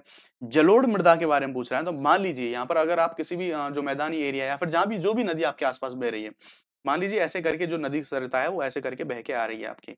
अब ये जब बह के आ रही है तो यहाँ पर इसके जो किनारे पर जो कुछ मिट्टी है तो ये जो अपने साथ में पानी के साथ में कुछ मिट्टी भी लेके आएगी ना तो आपने जो खादर बांगर वाला एरिया देखा होगा तो वहाँ पर जो जलोड़ मृदा पाई जाती है तो यहाँ पर ये इसके जो अवसाद होते हैं, उन्हीं को बोलते हैं हम, जो जो नदियों द्वारा जो लाए गए अवसाद होते हैं, उन्हीं को मिट्टियों को बोलते हैं हम जलोड़ मृदा। तो पहला स्टेटमेंट हो जाएगा हमारा क्लियरली सही। दूसरा स्टेटमेंट हम देखेंगे। दूसरे स्टेटमेंट को देख लेते हैं जलोड़ इसमें फॉस्फोरस की मात्रा अधिक, लेकिन पोटास की मात्रा कम पाई जाती है। नहीं, ऐसा कुछ भी नहीं है। ये गलत हो जाएगा। और इसकी बात करें तो इसमें जो पोटास की मात्रा तो अधिक पाई जाती है, लेकिन जो फॉस्फोरस है, उसकी मात्रा जो है हाँ यहाँ पर हम देखेंगे इसमें जो है पोटास की मात्रा अधिक पाई जाती है, यहाँ पर गया इसमें, और जो फॉस्फोरस की मात्रा है वो जो कम पाई जाती है तो यहाँ पर रिवर्स दिया, उल्टा दे दिया है। दूसरा हो जाएगा हमारा गलत, सही पूछ रहा है तो केवल ए हमारा हो जाएगा राइट आंसर। नेक्स्ट क्वेश्चन देखेंगे। विश्व में ज्वालामुखियों के वितरण के संदर्भ में निम्न कथनों पर विचार कर, विचार कर रहे हैं। यानी कि जो जितने ज्वालामुखी हैं वर्ल्ड में उन ज्वालामुखियों के बारे में बात करनी है और इनमें से कौन से सही नहीं है यानी कि गलत कौन से इनके बारे में उनको देखना है। माउंट कैमरून पूर्व अफ्रीका अफ्रीकी भ्रंश घाटी में स्थित एक सक्रिय ज्वालामुखी है सक्रिय ज्वालामुखी है यहाँ पर इस चीज़ को ऐसे हम पढ़ रहे होंगे। ठीक है तो देख लेते हैं भाई हम अगर इसके बारे में बात करें तो यहाँ पर सबसे पहले माउंट कैमरून के बारे में बात कर रहा है। देखो, नो डाउट माउंट जो कैमरून है, वो सक्रिय ज्वालामुखी प्रकार का ही हमारा एक ज्वालामुखी है। हैं, इसे कई अन्य नामों से भी जाना जाता है, ठीक है? और ये अगर इसके बारे में बात करें तो पूर्वी अफ्रीकी वंश घाटी में स्थित ये इसको बता रहा है, ठीक है? तो यहाँ पर अगर बात करेंगे तो ये जो है आ, आ, ये माउंट जो कैमरून है सारा पश्चिमी और मध्य अफ्रीका में स्थित है। जबकि ये बता रहे हैं यहाँ पर पूरी अफ्रीकी में ठीक है? तो पश्चिमी और मध्य अफ्रीका में जो हमें मिलेगा माउंट कैमरून ठीक है? तो ये पहला जो स्टेटमेंट है हमारा पहला स्टेटमेंट हो जाएगा हमारा एकदम गलत ठीक है? पहला स्टेटमेंट है हमारा गलत। दूसरा दूसरे स्टेटमेंट के बारे में हम देख लेते हैं दूसरा स्टेटमेंट क्या कह रहा है हमारा? माउंट किलिमंजारो पश्चिम एशिया में स्थित एक मृत ज्वालामुखी है। माउंट किलिमंजारो के बारे में, किलिमंजारो तो भाई बहुत फ़ेमस है, आपने, हो सकता है इसका नाम भी सुना होगा, ठीक है? अगर देखो माउंट किलिमंजारो के बारे में आपको बताऊँ तो ये है कहाँ? तंजानिया में ये आपको मिलेगा, और अफ्रीका का सबसे ऊँचा पर्वत भी है, आपको ये भी चीज़ ध्यान रखना है, ये फैक्ट ध्यान रखना है, ठीक है? और ये किसी भी मतलब एक तरीके से बात करें तो सबसे स्वतंत्र खड़ा हुआ बड़ा, सबसे बड़ा पर्वत है, यानी कि किसी भी जो है श्रृंखला का भाग नहीं है माउंट किलिमंजारो, ठीक है? तो अगर हम बात करें दूसरे स्टेटमेंट की बात करेंगे तो जो हमारा दूसरा स्टेटमेंट है, दूसरा स्टेटमेंट भी हो जाएगा हमारा, गलत हो जाएगा। क्योंकि पश्चिम एशिया की बात कर रहा है ना, पश्चिम एशिया में नहीं है, ये अफ्रीका में। ठीक है? और अगर इसकी माउंट किलिमंजारो की बात करें तो तंजानिया अफ्रीकी देश है। ठीक है? तो दूसरा हमारा, दूसरा भी गलत है। तीसरा अधिकांश ज्वालामुखी गतिविधियाँ समुद्र के नीचे घटित होती हैं। बिल्कुल सही बात है, आपको ये चीज़ भी ध्यान रखना है। ज़्यादातर जो ज्वालामुखी गतिविधियाँ होती हैं, आपको ऐसे नहीं, देखो, आते तो भले ही ऊपर मैग्मा और जो है, लेकिन जो ज़्यादातर ज्वालामुखी गतिविधियाँ हो रही देखेंगे आप, समुद्र में आपको बहुत सारे कटक मिल जाएँगे, ज्वालामुखी पहाड़ पर्वत मिल जाएँगे। वही जब ये ज्वालामुखी पर्वत ज्वालामुखी निकल के आता है तो आपने ज्वालामुखी द्वीप देखे होंगे। ठीक है आपने जो द्वीपीय जो, जो संरचनाएँ देखी होंगी ये ज्वालामुखियों का ही परिणाम होते हैं ज़्यादातर। जैसे हम भारत में अंडमान और निकोबार की बात करेंगे ना तो भारत में अंडमान और निकोबार की जो बात कर रहे होंगे तो यहाँ पर क्या है ज्वालामुखी के द्वारा ये निर्मित है ठीक है? तो यहाँ पर ये तीसरा हमारा सही हो जाएगा गलत हमसे पूछ रहा है तो पहला दूसरा गलत थे ए हो जाएगा हमारा राइट आंसर ठीक है? चलो भाई नेक्स्ट क्वेश्चन देख रहे होंगे हाल ही में संस्कृति मंत्रालय ने वर्ष भर संत सेवालाल महाराज की जयंती मनाने की घोषणा करी है। वे निम्न में से किस समुदाय के आध्यात्मिक गुरु थे? तो संत सेवालाल महाराज जी के बारे में हमें यहाँ पर जानना है। संत सेवालाल महाराज जी के बारे में देखते हैं और अपने स्टेटमेंट देख लेते हैं, ठीक है? तो संत सेवालाल महाराज जी क्या गुर्जर थे, क्या हट्टी थे, क्या बंजारा थे, क्या कालबेलिया थे? तो बिल्कुल, जो गुर्जर, जो हमारे संत सेवालाल जी महाराज थे, ये बंजारा है, इस बंजारा समुदाय से ये बिलोंग करते थे। अगर ये ये सेवालाल महाराज जी की हम बात करेंगे तो कर्नाटक का शिवमोगा जो जिला है, अभी जो शिवमोगा जिला है, यहाँ पर सत्रह में इनकी ये जन्म लेते हैं और बंजारा समुदाय के थे और ये यहाँ के समाज सुधारक और आध्यात्मिक गुरु होते हैं। तो सिंपल सा इनका समुदाय ध्यान रखना है और इनका जो जयंती है, ये मनाने का हमने अभी स्टार्टिंग करी है, इस चीज़ में हम यहाँ पर ये देख रहे होंगे। तो पहली बार इस जो जयंती है, ये ये पहली बार हम इस जयंती को यहाँ पर सेलिब्रेट कर रहे थे, इसलिए क्वेश्चन यहाँ पर इंपॉर्टेंट हो जाता है, ठीक है? चलो, बंजारे की हम बात करें तो जो बंजारा समुदाय है ना, अगर ये समुदाय से तो थोड़ा सा देख लेते हैं। भाई, जो बंजारा समुदाय है, ये पूरे भारत में फैला हुआ है और ये खाना बदोश समुदाय है समुदाय है। यानी कि ये घुमंतु टाइप के हैं, यानी कि इधर उधर घूमते रहते हैं ये लोग। बंजारे कहते हैं ना, बंजारा बंजारा बन गया तो यानी कि इधर उधर घूम घूम रहा है इंसान। एक जगह पर टिकाव नहीं होता, स्थायी नहीं होते। दस से बारह करोड़ आबादी है इनकी और इन्हें एस सी और ओबीसी के रूप में भी इनको जो है वर्गीकृत करा गया है। ठीक है? चलिए। नेक्स्ट क्वेश्चन पे मूव करेंगे हम अपना। नेक्स्ट क्वेश्चन देख लेते हैं। निम्न गैसों को वायुमंडल में उनकी हिस्सेदारी के घटते क्रम में व्यवस्थित करना है। यानी कि हमें सबसे ज़्यादा ये देखना है कि सबसे ज़्यादा हमारे वायुमंडल में इनमें से कौन सी गैस मिलेगी, उसके बाद कौन सी मिलेगी, उसके बाद कौन सी मिलेगी। तो देखो भाई, हम जब पढ़ते हैं तो ये तो देख लेते हैं कि वायुमंडल में जो हमारा गैसीय संरचना है, जो घटक है, उनमें नाइट्रोजन सबसे ज़्यादा मिलती है, ये तो सबको पता ही होगा। ठीक है, लेकिन मेरे प्यारे भाइयों और ये देखेंगे यहाँ पर ये नाइट्रोजन है, इसका ऑप्शन आपको मिलेगा ही नहीं यहाँ पर। इसलिए हमें यहाँ पर एग्ज़ाम में थोड़ी सी चालाकी खेली जाती है। तो नाइट्रोजन यहाँ पर नहीं है तो देख लेते हैं, इनमें जो अवेलेबल है वो कौन कौन से सीओ है ऑक्सीजन है हाइड्रोजन है ऑर्गन है। तो इनमें से जो अगर सबसे ज़्यादा आप देखेंगे तो नाइट्रोजन है, ये लगभग सेवेंटी पाई जाती है हमारे वायुमंडल में। उसके बाद आता है ऑक्सीजन का नंबर ऑक्सीजन की अगर भाई हम बात करेंगे तो ऑक्सीजन लगभग इक्कीस ऑक्सीजन हमारे वायुमंडल में पाई जाती है। उसके बाद ऑर्गन का नंबर आता है ऑर्गन मिलती है लगभग 0.93 परसेंट इसका हिस्सा आता है ठीक है, उसके बाद आती है CO2 आती है CO2 0.0 ज़ीरो थ्री सिक्स इतना इसका जो क्रम होता है। तो इनमें सबसे ज़्यादा जो मिलेगी हमें आर नंबर आएगा सबसे पहले ऑक्सीजन का, यानी कि दूसरा सबसे पहले आएगा। तो तीन में दो ही है तो एक खत्म हो जाएगा। उसके बाद जो है उसके बाद जो नंबर आएगा हमारा, ये ऑर्गन का नंबर आएगा तो दो के बाद चार आएगा तो दो के बाद चार बी में ही अवेलेबल है, इसलिए हमारा बी राइट आंसर हो जाएगा। ठीक है हाइड्रोजन सबसे लास्ट में आएगा। ठीक, चलिए नेक्स्ट हम क्वेश्चन पे मूव करेंगे। नेक्स्ट क्वेश्चन को हम देख रहे होंगे तो नेक्स्ट क्वेश्चन हमारे सामने है। नेक्स्ट क्वेश्चन बोल रहा है कि भारत में जो गरसोप्पा जलप्रपात है काफ़ी रिपीटेड क्वेश्चन इस पे आ चुके हैं गरसोप्पा से। इसका निर्माण निम्न में से किस नदी द्वारा किया जाता है? तो जो गरसोप्पा वाटरफॉल है इसका निर्माण हम जो, नाम भी आपको ज़रूर पता होना चाहिए। कई बार ये गरसोप्पा के नाम से और यूपीपीसीएस का तो एक टाइम पर ये क्वेश्चन फेवरेट रहा है। गरसोप्पा और इसको दूसरा जो इसका नाम है, जोग जलप्रपात, जोग जो वाटरफॉल है, इसी को गरसोप्पा जलप्रपात को बोलते हैं। सिंपल सा यहाँ पर पूछ रहा है कि भाई किस नदी पर ये जो है स्थित हमको मिलेगा, ठीक है? तो ध्यान रखना शरावती नदी पर स्थित है। कहाँ पर है? कर्नाटक में ये उपस्थित है। कर्नाटक में जो अभी का शिमोगा नाम का जिला है, वहाँ पर इसकी जो है लोकेशन आपको मिल जाएगी, ठीक है? शरावती, जो शरावती नदी है, उसके द्वारा इसका निर्माण होता है। शरावती नदी की अगर हम बात करेंगे इसकी उद्गम की बात करेंगे तो पश्चिमी घाट से इसका उद्गम होता है, यानी कि जो पश्चिमी घाट मैंने आपको पहले भी बना के बताया था, जब हम भारत की संरचना देखते हैं तो हाँ, हम जब भारत की संरचना देखते हैं तो यहाँ पर। तो यहाँ जो पश्चिम ये पश्चिमी घाट है इसी पश्चिमी घाट से इस नदी का जो उद्गम होता है और कर्नाटक की बहुत एक इंपॉर्टेंट नदी है और ये पश्चिमी घाट से प्रवाहित होकर पश्चिम की ओर जो है ये आ, आ, फ्लो कर रही होती है ठीक है? तो ये इससे देख लिया हमने यहाँ पर जो गरसोप्पा जलप्रपात है ये इसी नदी से बनता है। देखो कुछ इंपॉर्टेंट वाटरफॉल है जो रिपीटेड मोड पर आते हैं। मैं आप, आपको दो तीन वाटरफॉल बता देता हूँ जो बार बार आपको एग्ज़ाम में परेशान करते हैं। एक तो आता है हमारा कुंचिकोल वाटरफॉल आप देखेंगे ना पीवाई को देखेंगे। कई बार मिलाने को आ जाएगा, मिलान करने को आएगा, सही सुमेलित में आ जाएगा तो परेशान करेगा ये जलप्रपात आपको बार बार कुंजीकुल जलप्रपात है, वाराही नदी के द्वारा बनाया जाता है इसको, ये ध्यान रखेंगे, ठीक है? गरसोप्पा का हमने देख लिया, सरावती नदी के द्वारा। एक आता है धुआंधार जलप्रपात धुआंधार जलप्रपात का लमेटा घाट, यानी कि हम बात करेंगे इसको, जो मध्य प्रदेश का जो जबलपुर है, वहाँ पर ये आपको मिलेगा और नर्मदा नदी के द्वारा धुआंधार जलप्रपात है, इसके द्वारा ये बनाया जा रहा होगा। उसके बाद हम बात करेंगे शिव समुद्रम जो जलप्रपात है, शिव समुद्रम, यानी कि साउथ में होगा ये, अगर शिव समुद्रम नाम के टाइप से आप समझ सकते हैं। तो कावेरी नदी है, इसके द्वारा इसको बनाया जा रहा होगा, ठीक है? उसी प्रकार हम दूध सागर की बात करेंगे तो दूध सागर की अगर हम बात करेंगे तो दूध सागर कहाँ? मांडवी नदी में, ठीक है? मांडवी नदी के द्वारा बनाया जाता है, ये जो हमारा दूध सागर जलप्रपात है, ठीक है? तो इस तरह से हमने ये चौबीसवां क्वेश्चन का थोड़ा सा डिटेल से हमने देख लिया है, पच्चीसवां देखेंगे। पच्चीसवां देखते हैं, डेटा दूतावासों के संदर्भ में निम्न कथनों पर विचार करना है, इनमें से कौन से सही है? यानी कि जो डेटा एम्बेसी हमारी, इनके बारे में पूछा जा रहा है कि कौन से, इनके बारे में सही है? पहला, ये सर्वरों का एक ऐसा समूह है जो एक देश के डेटा को दूसरे देश में संग्रहित करता है। बिल्कुल सही बात है। डेटा एम्बेसी में कुछ नहीं है, बस सर्वरों का एक ग्रुप होगा और जो एक देश का, एक कंट्री का डेटा है, दूसरे कंट्री में ये जो है, स्टोरेज रहेगा, इसको बोलेंगे डेटा एम्बेसी। बिल्कुल, इसके बारे में पहला स्टेटमेंट सही है। दूसरा यह स्थानीय कानूनों से राजनयिक उन्मुक्ति प्राप्त विश्वास पात्र राष्ट्रों का एक भौतिक डेटा केंद्र है। तो बिल्कुल सही है। फिजिकली ही अवेलेबल होगा ठीक है? इसको कुछ छूट प्राप्त होंगी और जो भरोसेमंद जिनकी क्रेडिबिलिटी जिन देशों की आपस में अच्छी हो रही होगी वहाँ पर जो फिजिकली रूप में अवेलेबल होंगे दोनों ऑप्शन इस बारे में सही हो जाएँगे पर एक और दो दोनों हमारे सही हो जाएँगे इस बारे में ठीक है? चलो अगला क्वेश्चन है हमारा अगला क्वेश्चन देख लेते हैं। अगला क्वेश्चन कह रहा है हमारा यहाँ पर आ, देख लेते हैं अभी थोड़ा ब्लर है हाँ।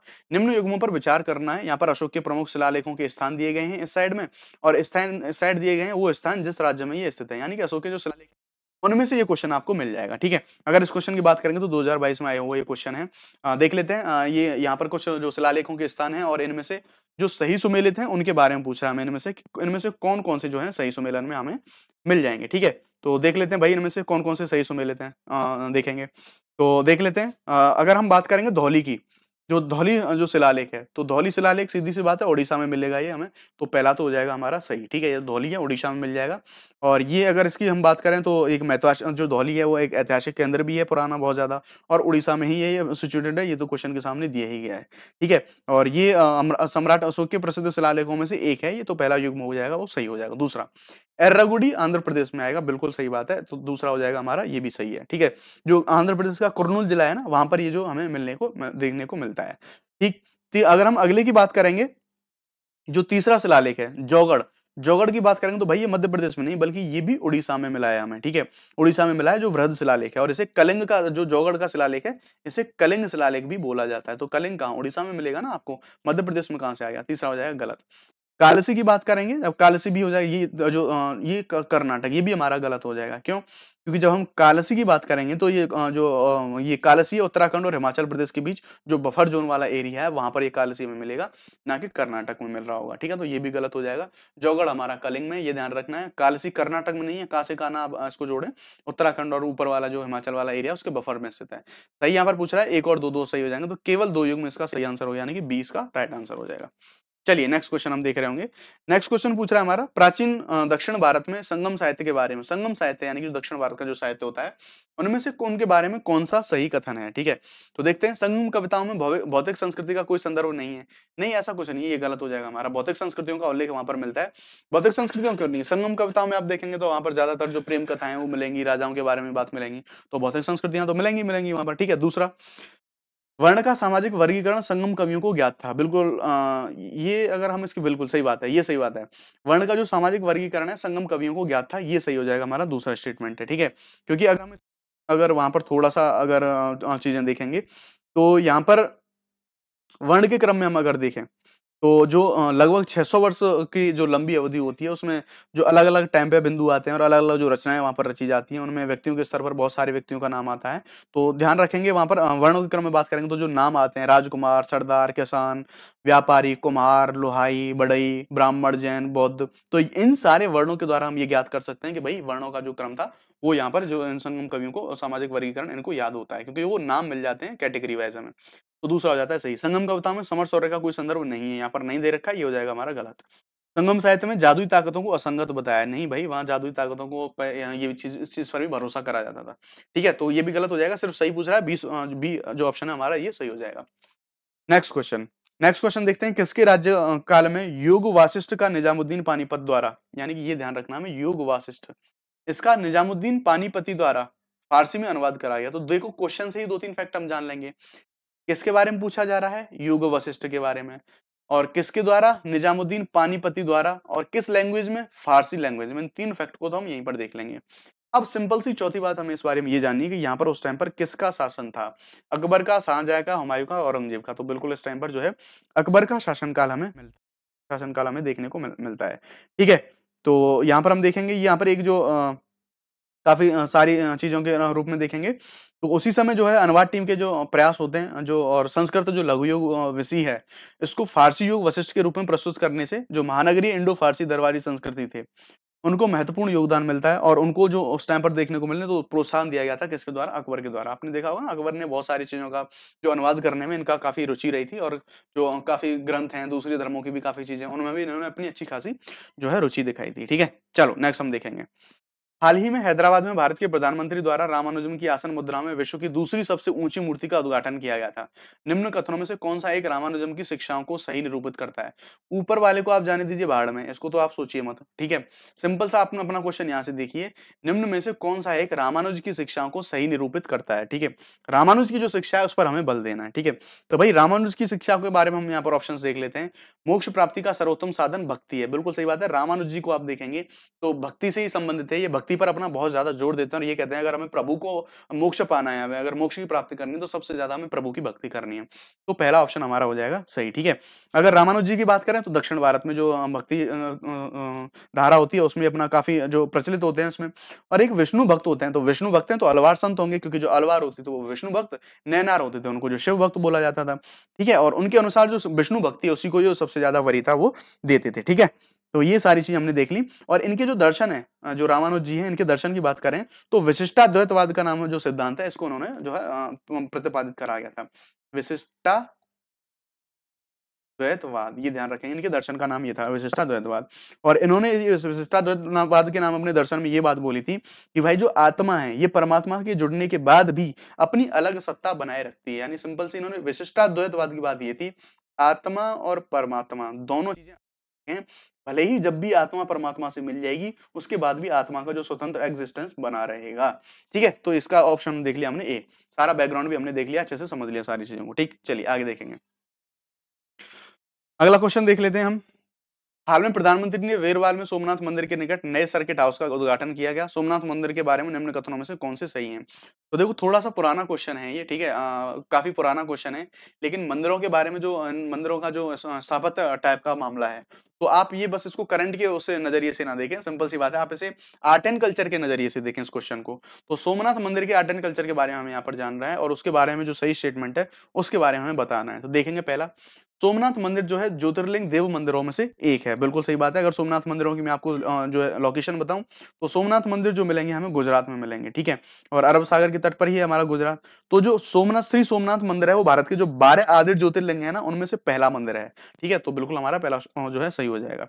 दूसरा, अलबरूनी ने सोमनाथ मंदिर का वर्णन करा। बिल्कुल सही बात हो जाएगा, जब हम जो अरब यात्री, जो अलबरूनी आता है तो इसके जो यात्रा वृत्तांत हैं, उनमें इसने जो इनका ज़िक्र करा है, और इससे प्रभावित होकर जो महमूद गजनवी है, उसने 1024 में अपने जो 5000 कुछ सैनिक होते थे, इनके साथ जो है सोमनाथ मंदिर पर इस दुष्ट ने हमला करा था, बहुत ज़बरदस्त तरीके का।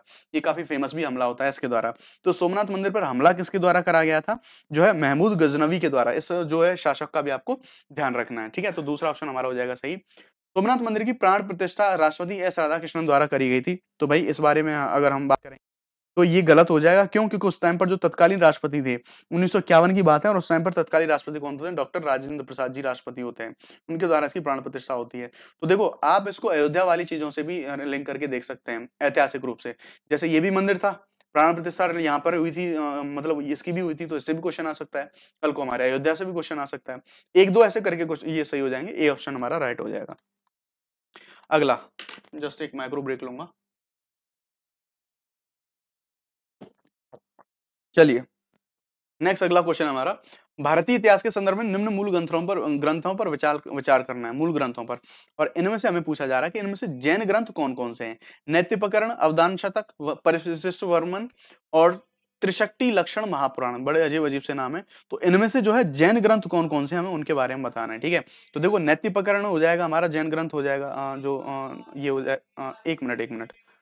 यहाँ पर पूछ रहा है कि इनमें से कौन कौन से जैन ग्रंथ हैं? ठीक है, जैन ग्रंथ इनमें से कौन कौन से हैं? तो दूसरे और चौथे जैन ग्रंथ हैं, इनमें से सिर्फ़ परिशिष्ट वर्मन हो जाएगा जैन ग्रंथ और त्रिशली लक्षण महापुराण ये जैन ग्रंथ हो जाएगा। ठीक है तो दो और चार इसका राइट आंसर हो जाएँगे।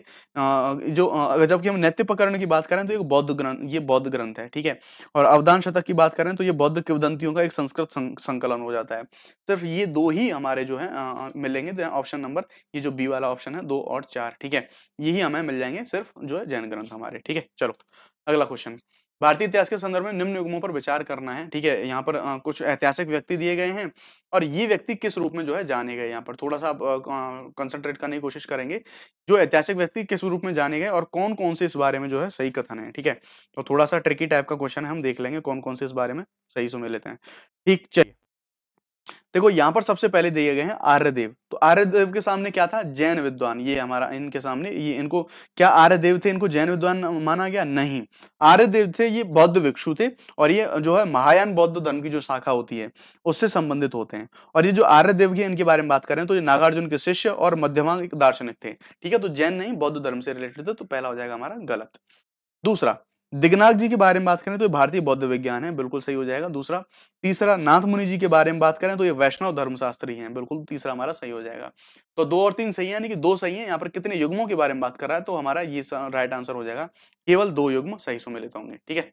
चलिए अगला क्वेश्चन नंबर तैतीस है हमारा। भारत में जनजातियों के संदर्भ में निम्न कथनों पर विचार करना है, यानी कि जो ट्राइब्स हैं, हमें उन ट्राइब्स के बारे में बताना है। और यहाँ पर हमें पूछ रहा है कि इनमें से कितने जो हैं जो स्टेटमेंट है, वो हमें सही मिलेंगे। चलो भैया, ट्राइब के बारे में देख लेते हैं इनमें से। जो है जो जनजाति हैं, इनके संदर्भ में देख लेंगे। इनके संबंध में कितने जो है, हमें सही मिलेंगे, ठीक है? तो चलिए, पहला स्टेटमेंट देखेंगे हम। आदिवासी वे लोग हैं, जो मूलतः स्थानांतरित कृषि करते हैं, यानी कि प्रैक्टिस शिफ्टिंग एग्रीकल्चर करते हैं। क्या मूलतः स्थानांतरित कृषि करेंगे, ये ऐसा कुछ है इनके बारे में? नहीं। तो देखो, इनका ये ये, इनकी अनिवार्य विशेषता नहीं है। यूजुअली ये लोग करते भी हैं ये, लेकिन ज़रूरी नहीं है कि जो आदिवासी है वो शिफ्टिंग खेती है, उसको करेगा ही करेगा। तो ये अनिवार्य विशेषता इसकी नहीं होगी। ठीक है, पहला हो जाएगा हमारा गलत। दूसरा, दूसरे की हम बात करेंगे तो जो कथन दूसरा हमारा, जनजातीय समाज आमतौर पर गैर आदिवासी समाजों की तुलना में कम मात्रा में पदानुक्रम प्रदर्शित करते हैं, सामाजिक पदानुक्रम, यानी सोशल हायरकी है ना, वो इनमें बहुत ज़्यादा सोशल हायरकी होती नहीं है, जैसे हमारे और आपके जो सामान्य लोग हैं, हमारी बराबर जो है सोशल हायरकी इनके अंदर, अंतर्गत होती नहीं है, ठीक है? तो बिल्कुल हमारा ये जो दूसरा स्टेटमेंट है, दूसरा स्टेटमेंट हो जाएगा हमारा सही। तीसरा जाक्सा समिति करेंगे ये आ, कहीं पर आपको ये जाक्सा समिति मिलेगी कहीं पर आपको ये एक्सा समिति मिलेगी। ठीक है तो इसमें आपको कंफ्यूजन नहीं होना है। इसकी सिफारिशों में आदिवासी क्षेत्रों में कृषि आधारित प्रशिक्षण संस्थानों और संबंधित श्रम ग्रहण प्रसंस्करण उद्योगों की स्थापना पर ज़ोर देना शामिल था। तो बिल्कुल हमारा ये भी सही हो जाएगा। जाक्सा कमेटी के बारे में थोड़ा सा देखेंगे। तो इन्होंने ये जो आदिवासी लोग थे इनकी रोज़गार की स्थिति के तहत आदिवासी क्षेत्रों में इन प्रशिक्षण संस्थानों की स्थापना की बात करी गई थी और जो श्रम गहन जो ऐसे प्रोसेस इंडस्ट्री है उसकी स्थापना की भी सिफारिश करी गई थी। ठीक है तो यानी कि जो आदिवासी जो स्थानीय लोग हैं, उनको ज़्यादा से ज़्यादा रोज़गार मिल सके, वो अपनी अपनी जीविका ठीक से चला सके। दूसरा तीसरा सही हो जाएँगे, पहला गलत है तो केवल दो यहाँ पर सही होंगे राइट ऑप्शन हो जाएगा हमारा बी नेक्स्ट क्वेश्चन चौतीसवा क्वेश्चन देख लेते हैं, मानवाधिकार के संबंध में निम्न में से कौन सा कथन सही नहीं है? यानी कि ह्यूमन राइट के बारे में इनमें से कौन सा गलत है, उस गलत के बारे में हमें बताना है, ठीक है? तो मानवाधिकार मोरल प्रिंसिपल से प्रेरणा लेते हैं, बिल्कुल सही बात है, यानी नैतिक ही होते हैं, यानी भाई मेरे अधिकार हैं तो नैतिकता से संबंधित तो ये होंगे ही ना। वे राज्यों द्वारा अपनाए जाने वाले अपनाए जाने के अधीन लागू होते हैं। ठीक है, बिल्कुल ये हमारा भी ये जो है ये भी सही हो जाएगा। तीसरा, नागरिक और राजनीतिक अधिकारों पर अंतरराष्ट्रीय अनुबंधों को संयुक्त राष्ट्र द्वारा वर्ष 1948 में अपनाया गया था। ठीक है ये अगर इसका टाइम पीरियड की हम बात करेंगे तो ये 1948 में नहीं, बल्कि दिसंबर 1966 में इनको अपनाया गया था, ना कि 1948 में। ठीक, जो आईसीसीपीआर जिनको हम बोलते हैं, है ना? इनको जो है उन्नीस सौ अगर बात करेंगे तो जो मानव अधिकारों की अगर सार्वजनिक घोषणा होती है जो है 1948 में, लेकिन जो इन पर अंतर्राष्ट्रीय जो अनुबंध है, इनको अगर हम अपनाने की बात करेंगे तो संयुक्त राष्ट्र महासभा के द्वारा उन्नीस में इनको अपनाया जाता है तो सी हमारा हो जाता है गलत। गलत ही हमसे यहाँ पर पूछ रहा है तो एक ही हमें ढूंढना है तो गलत हो जाएगा हमारा सी, ठीक है? चलो, अगला क्वेश्चन देख लेंगे तो अगला क्वेश्चन है हमारा। अभी ब्लर है, देख लेते हैं, चलो। समाजवाद और समाजवादियों के संदर्भ में कौन सा गलत है? यानी कि समाजवाद के बारे में, जो समाजवाद की जो विचारधारा है, उस विचारधारा के बारे में हमसे पूछा जा रहा है। चार ऑप्शन हमें दिए गए हैं। समाजवादी जो इनमें से कौन सा गलत है? हाँ सीधी सी बात से सही नहीं ढूंढना हमें, गलत ढूंढना समाजवाद के बारे में। तो देख लेंगे भाई, समाजवादी आय वितरण के संदर्भ में समाज का विश्लेषण करते हैं। बिल्कुल आपने जो समाजवादी विचारधारा होगी, वो बोलते हैं, भाई, सब लोग इक्वल होने चाहिए। और इक्वलिटी किसकी होनी चाहिए? इक्वलिटी होनी चाहिए किसके लेवल पर? इनकम के लेवल पर। सब लोगों की आय समान होनी चाहिए, सबको समान अवसर मिलने होने चाहिए। तो ये सारी बातें ये लोग करते हैं, ये सही हो जाएगा। दूसरा समाजवादियों की दूसरी बात करें तो समाजवाद समुदाय की केंद्रीयता पर ज़ोर देता है। नहीं, ये केंद्रीयता पर नहीं, बल्कि डिसेंट्रलाइजेशन पर ज़ोर देता है। सेंट्रलिटी पर ज़ोर नहीं देता, बल्कि ये जो है सेंट्रलिटी पर नहीं, बल्कि ये डिसेंट्रलाइजेशन पर ज़ोर देता है हमारा। ठीक है तो ये दूसरा है, दूसरा ही हो जाएगा हमारा, गलत। ठीक है, समाजवाद में समुदाय के सहयोग को महत्व दिया जाता है और ये इसकी विशेषता नहीं है बल्कि मुख्य रूप से समाजवाद की जो है इनमें डिसेंट्रलाइजेशन है, उनके पास जो जोड़ देता है और ये इस चीज़ का जो है विरोध करता है कि ऐसा नहीं कि भाई जो ज़्यादातर जो पूंजी है वो कुछ ही लोगों के पास इकट्ठी होनी है कि डिसेंट्रलाइजेशन होना चाहिए, सारी जो पूंजी है, संपत्ति है, सारे संसाधन है उनका।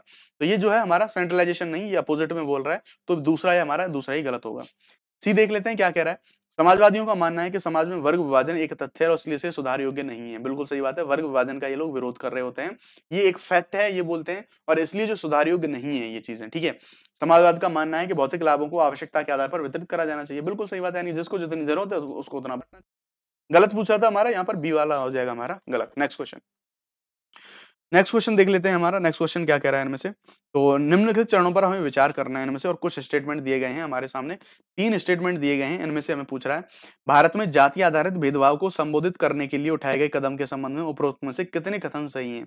यानी जाति आधारित जो भेदभाव है उसको उठाने के लिए कौन कौन से इसके बारे में हमें सही देखने को मिल जाएँगे, ठीक है? तो देख लेते हैं इनमें से कौन कौन से हमारे ऐसे जाति द्वारा उठाए गए इनको सही होंगे। पहला अनुसूचित जाति और जनजाति अधिनियम 1980 यानी कि S C S T atrocity जो एक्ट था हमारा 1989 में, इसने दलितों और आदिवासियों के खिलाफ हिंसा व अपमान के कृत्यों को दंडित करने वाले कानूनी प्रावधानों को मौजूद करा। बिल्कुल सही बात है बिल्कुल सही हो जाएगा। जो S C S T atrocities act है ना, इतना स्ट्रॉन्ग एक्ट है कि अगर इसके अगेंस्ट अगर इस एक्ट के तहत किसी के ऊपर एफआईआर हो जाती है ना भाई तो बेल लेना बहुत आसान नहीं है, जमानत नहीं मिल पाती आसानी से। तो ये पहला हमारा स्टेटमेंट हो जाएगा, सही। दूसरा, संविधान लोकसभा और राज्य विधानसभा में अनुसूचित जाति, अनुसूचित एसटी और ओबीसी के लिए सीटों के आरक्षण का प्रावधान करता है। तो देखो भाई, अगर हम इस बारे में बात करेंगे तो ये जो है हम अगर बात करें जो भारत का संविधान है, ये किस किस के लिए? लोकसभा में, राज्य विधानसभा में, लोकसभा में, राज्य विधानसभा में जो है दलितों के सॉरी हाँ लोकसभा में करेगा, राज्य विधानसभा में करेगा, और एससी और एसटी के लिए सीटों के आरक्षण का प्रावधान करता है।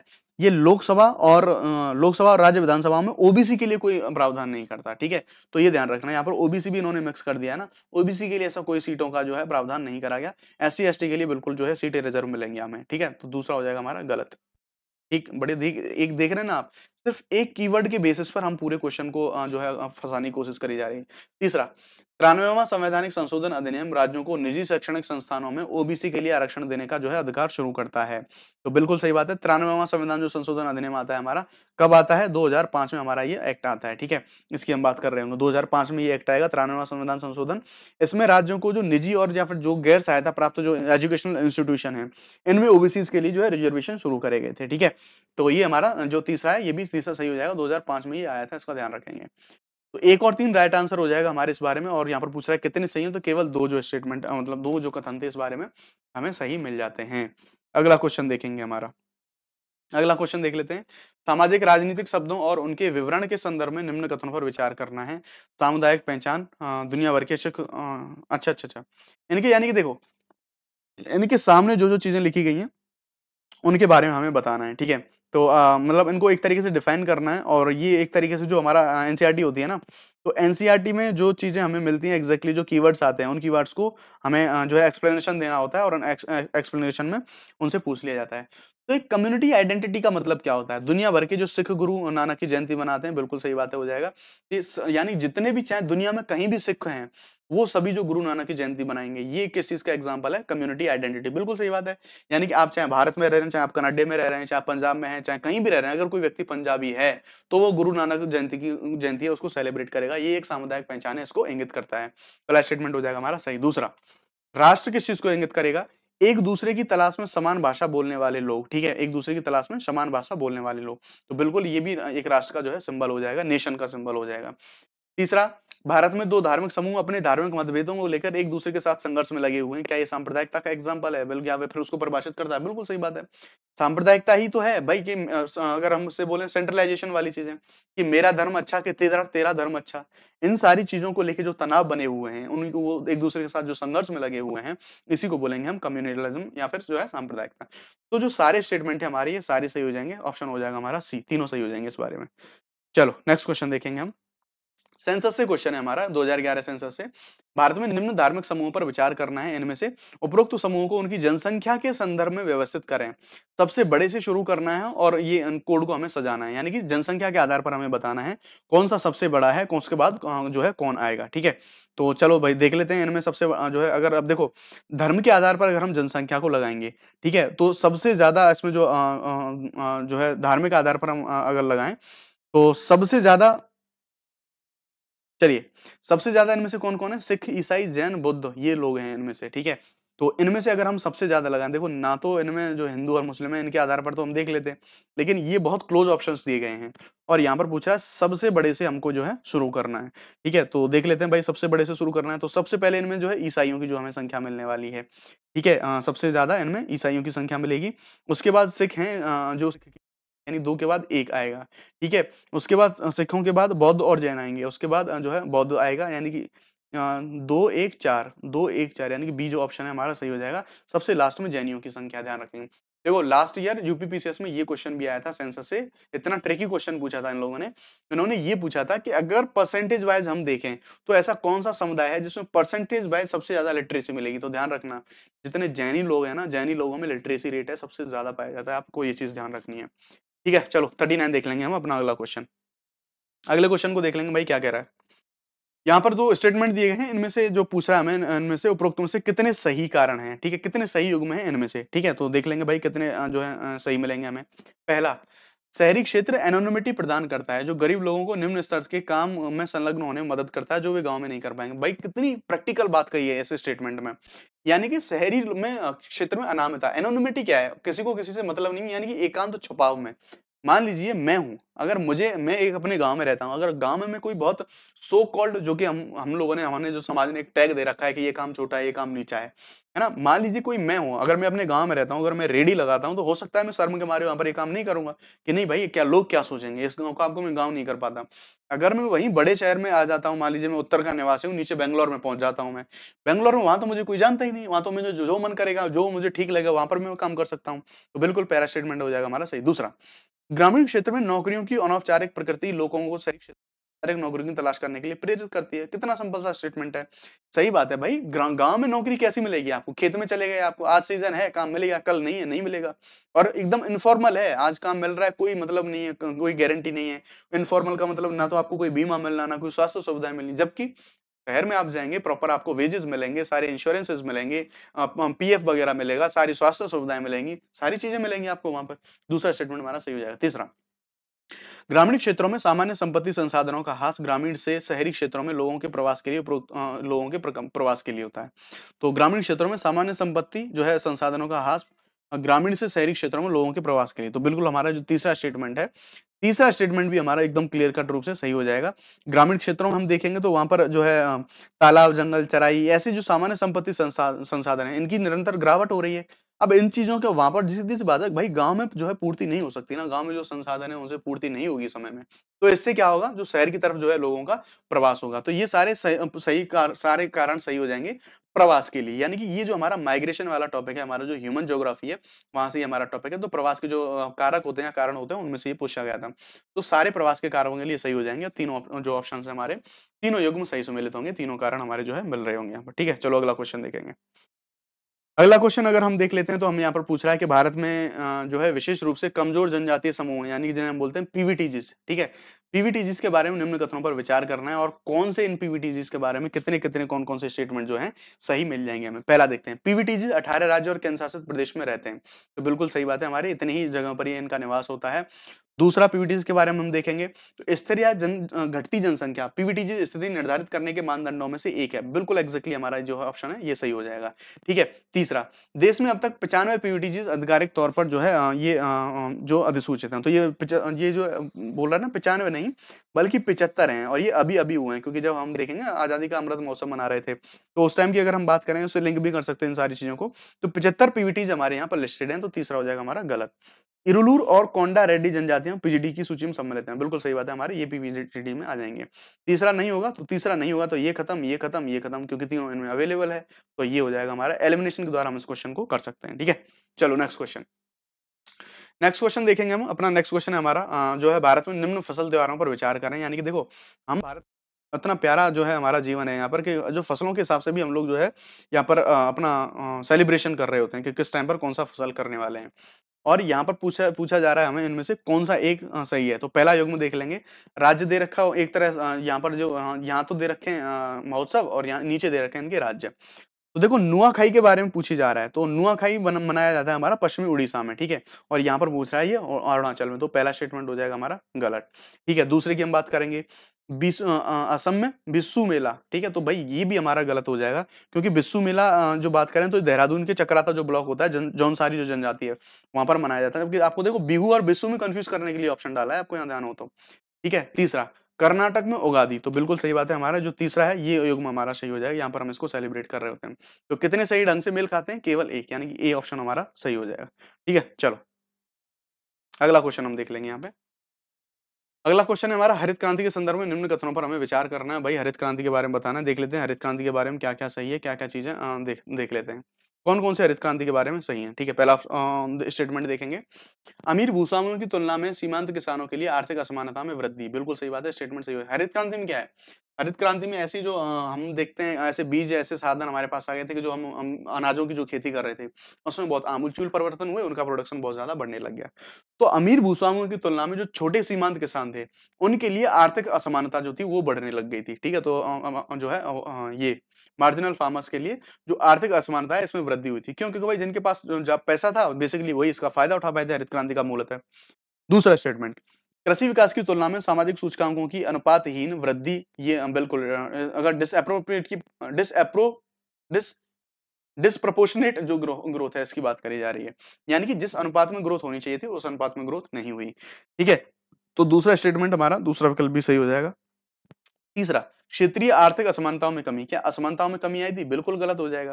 भाई, अगर हम देखें ना क्षेत्रीय असमानताओं की बात करें तो जो हरित क्रांति का जो ज़्यादातर लाभ है, हमें कहाँ मिला? पंजाब, हरियाणा, उत्तर प्रदेश, इन जगहों पर ही मिला था हमें। ये नहीं कि पूरे देश में हरित क्रांति के बारे में। क्यों? क्योंकि हरित क्रांति ने क्या, गेहूँ, चावल ऐसी खेतियों पर ही तो ज़्यादा बल दिया था। तो भाई, पूरे भारत में सिर्फ़ गेहूँ, चावल थोड़ा ना उगते हैं। तो ये चीज़ का भी हमें ध्यान रखना है, ठीक है? असमानताओं में कमी नहीं, बल्कि असमानताओं में वृद्धि करी थी। इसमें तीसरा हो जाएगा गलत। चौथा चौथे के बारे में बात कर रहे हैं तो जनसंख्या के लिए खाद्य सुरक्षा के स्तर में वृद्धि, बिल्कुल सही बात है। जब प्रोडक्शन ज़्यादा होगा तो खाद्य सुरक्षा भी बढ़ेगी ना हमारी? हमें ज़्यादा अवेलेबल होगा हमारे पास खाद्यान्न तो यहाँ पर पूछ रहा है, उपरोक्त में से कितने भारत में क्रांति के सामाजिक प्रभाव थे? तो बिल्कुल सही बात है, हमारा ये चौथा हो जाएगा, एक दो चार हो जाएगा, तीसरा नहीं आएँगे तो इसमें से तीन आ जाएँगे, यानी कि केवल तीन ऑप्शन सी सही हो जाएगा, ठीक है? चलो। वैश्वीकरण के संबंध में निम्न कथनों पर विचार करें है ना? वैश्वीकरण से क्वेश्चन पूछा जा रहा है देख लेते हैं भाई इनमें से क्या क्या कौन कौन से विचार करने हैं हमें। आ, पहला स्टेटमेंट हम देख लेते हैं वैश्वीकरण का और यहाँ पर पूछ रहा है उपरोक्त में से कितने को भारत में वैश्वीकरण का प्रभाव माना जाता है? यानी कि सीधी सी बात है जो ग्लोबलाइजेशन है ठीक है? एलपीजी हम देखते हैं ना उसी में से जो लिबरलाइजेशन प्राइवेटाइजेशन ग्लोबलाइजेशन यानी कि पूरे वर्ल्ड के साथ जो इकोनॉमी, ओपन इकोनॉमी होगी सबके साथ हमारा जुड़ा हो गया, एक्सपोर्ट इम्पोर्ट बढ़ने लग गया, ये सारी चीज़ें आती हैं ग्लोबलाइजेशन में। तो ग्लोबलाइजेशन के जो प्रभाव आते हैं, इनमें से आप देखो कॉन्सेप्चुअल क्वेश्चन है, ये ज़रूरी नहीं है कि प्रिलिम्स का दे रहे हैं तो आपको प्रिलिम्स में ही हेल्प करेगा, ये आपको ऐसे में भी इंटरव्यू में भी मेन्स लिखने में भी, आपकी एक ओवरऑल जो कॉन्सेप्चुअल जो क्लैरिटी है, उसको ये बिल्ड कर रहा होगा यहाँ पर, ठीक है? देखते हैं, पहला स्टेटमेंट हमारा, एकल परिवार को बढ़ावा देना, बिल्कुल सही बात है। देखिए ग्लोबलाइजेशन से हुआ क्या? इंडस्ट्रियलाइजेशन बढ़ा। अब व्यक्ति क्या है? नौकरी करने के लिए भागा। ग्लोबलाइजेशन से क्या हुआ? मान लीजिए आप हैं। आपने कोई अच्छी डिग्री करी, आपको नौकरी मिली, आपने गूगल गूगल ऑफ़िस ने आपको बुला लिया नौकरी करने के लिए। अब आप ऐसा तो है नहीं, पूरी फैमिली को वहाँ पर लेके जाएँगे। ज़्यादा से ज़्यादा क्या? अपनी वाइफ और आपके बच्चे होंगे, आप उनको ले जाएँगे। ऐसा तो है नहीं माता पिता चाचा, चाची, ताते जो सारे जो लोग गाँव में रह रहे थे, उनको लेके जाएँगे आप। तो न्यूक्लियर फैमिलीज़ है, उनको बढ़ावा मिला इसके द्वारा। ठीक है? तो बिल्कुल सही है, हमारा पहला स्टेटमेंट हो जाएगा, सही। दूसरा कार्यबल का आकस्मिकीकरण, यानी कि जो यहाँ पर कहा जा रहा है कैजुअलाइजेशन ऑफ़ वर्क फोर्स बिल्कुल हमारा दूसरा स्टेटमेंट है, ये भी सही हो जाएगा। महिला सशक्तिकरण बिल्कुल हुआ ना भाई। आप देखेंगे 1992 से पहले कितनी महिलाएँ काम करती थी फॉर्मल सेक्टर में। आज देखेंगे आप एनसीआर में हालत देख लो बैंगलोर में आप हालत देख लो। तो महिलाएँ बिल्कुल ये हमारा जो तीसरा स्टेटमेंट है, तीसरा स्टेटमेंट भी क्लियर सही हो जाएगा। वैश्वीकरण के सारे प्रभाव माने जाएँगे और ये स्टेटमेंट हो जाएगा हमारा सी तीनों सही हो जाएँगे। ठीक है, चलिए नेक्स्ट क्वेश्चन नेक्स्ट क्वेश्चन है हमारे यहाँ पर। निम्न फ़सल तो अच्छा अरे ये क्वेश्चन मुझे लग रहा है ये रिपीटेड आ गया है, ये जो पेज है, ये पेज जो है रिपीटेड आ गया है, ठीक है? हाँ ये पेज हमारा रिपीटेड आ गया, माफ़ी चाहूँगा। अगले पेज पर हम मूव कर लेंगे। चलिए भाई। द्रविड़ आंदोलन के संदर्भ में हम यहाँ पर बात कर रहे होंगे, ठीक है? जस्ट अ सेकेंड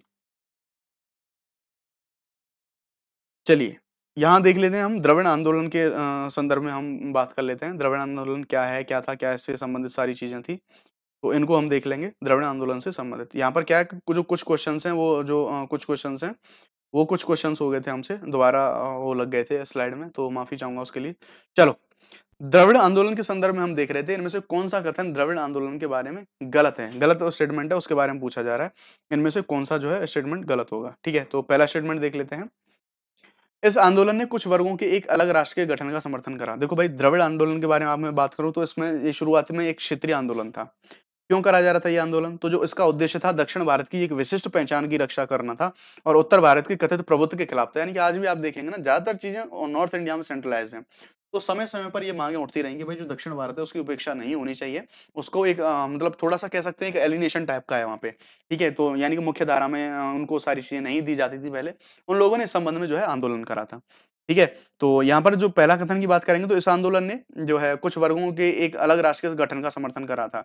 कुछ वर्गों ने ऐसी जो हरकत करने की जो है कोशिश करी थी लेकिन ये चीज़ें इतना आसान नहीं है है ना? तो ये पहला जो है हमारा हो जाएगा सही। दूसरा इसने अपने उद्देश्यों को प्राप्त करने के लिए बड़े पैमाने पर अहिंसक तरीकों हाँ ये अच्छी बात थी यहाँ पर कि जो है यहाँ पर अहिंसक तरीके यहाँ पर अपनाए गए थे, ठीक है? तीसरा, इसे तमिलनाडु, कर्नाटक और आंध्र प्रदेश राज्यों में व्यापक जो है समर्थन मिला। तो अगर हम बात करें तो आंदोलन, ये जो आंदोलन है स्टार्टिंग में तो पूरे दक्षिण भारत को इसके प्रतिनिधि के तौर पे माना जाता था। लेकिन अन्य राज्यों में जो है अन्य राज्यों से समर्थन कम रहा। इस कारण ये जो द्रविड़ आंदोलन है, ये ज़्यादातर सेंट्रलाइज कहाँ रहा? सिर्फ़ और सिर्फ़ जो तमिलनाडु तक ये सीमित रहा। तो ये जो तमिलनाडु है, यहाँ पर काफ़ी जो है ये सीमित रहा था, ये जो यहाँ तक लिमिटेड रहा था। कर्नाटक और जो आंध्र प्रदेश है यहाँ पर इसको बहुत ज़्यादा समर्थन नहीं मिला था तो यही हमारा जो है गलत हो जाएगा। इसके कारण ईवी रामास्वामी नायकर द्वारा द्रविड़ कड़गम यानी डी के पार्टी का जो है गठन कराया गया था, बिल्कुल उसी वाला उसी टाइम का जो इतिहास है हमारा, इसी से संबंधित हो जाएगा, ठीक है? चलिए, ये हो गया हमारा यहाँ पर गलत पूछ रहा था तो गलत हो गया हमारा सीवा स्टेटमेंट है, ये गलत हो जाएगा। चलिए फोर्टी देख लेते हैं। राष्ट्रीय जनसंख्या रजिस्टर यानी कि एनपीआर है, इसके संदर्भ में निम्न कथनों पर, यानी नेशनल पॉपुलेशन जो रजिस्टर है, इसके संदर्भ में निम्न कथनों पर हमें विचार करना है। तीन स्टेटमेंट हमारे सामने दिए गए हैं एनपीआर के संबंध में, इनमें से हम देख लेते हैं कौन कौन से सही हैं, ठीक है? तो यहाँ पर पूछ रहा है कितने कथन सही हैं? इनमें से ये चीज़ें हमसे सिंपल सी पूछी जा रही हैं। तो देख लेते हैं, पहला स्टेटमेंट देख लेंगे। तो यह जनगणना अधिनियम 1948 के प्रावधानों के तहत इसको तैयार कराया। तो भाई ये हो जाएगा हमारा गलत, क्योंकि अधिनियम 1948 नहीं, बल्कि जो हमारा, जो नागरिकता अधिनियम 1955 है, उस एक्ट के थ्रू हमने इसको तैयार कराया। तो हमारा पहला हो जाएगा गलत। दूसरा, इसे गृह मंत्रालय के अधीन रजिस्ट्रार जनरल के कार्यालय द्वारा तैयार कराया जाता है। बिल्कुल दूसरा हमारा हो जाएगा सही। तीसरा भारत के सामान्य निवासी के लिए एनपीआर में पंजीकरण कराना वैकल्पिक है। तो जो सामान्य निवासी की बात करी ना तो जो सामान्य निवासी भारत के, उनको एनपीआर में पंजीकरण कराना वैकल्पिक नहीं, बल्कि एसेंशियल है, ये अनिवार्य है, यहाँ पर एक ही वर्ड में खेला करा गया है। तो ये भी हो जाएगा हमारा गलत। चौथा एनपीआर डेटाबेस में जनसंख्या के साथ साथ बायोमेट्रिक, बिल्कुल सही बात है। जनसंख्या की तो होगी, बायोमेट्रिक भी लगेंगे, जैसे पुतलियों का जो स्कैन करी जाएँगी, आपके फिंगरप्रिंट्स हैं, वो लगेंगे, ये सारी चीज़ें, ठीक है? तो ये हो जाएगा हमारा सही। दो और चार सही होंगे, यहाँ पर पूछा जा रहा है कितने सही है तो ऑप्शन बी हो जाएगा हमारा, दो इसमें से सही हो रहे होंगे।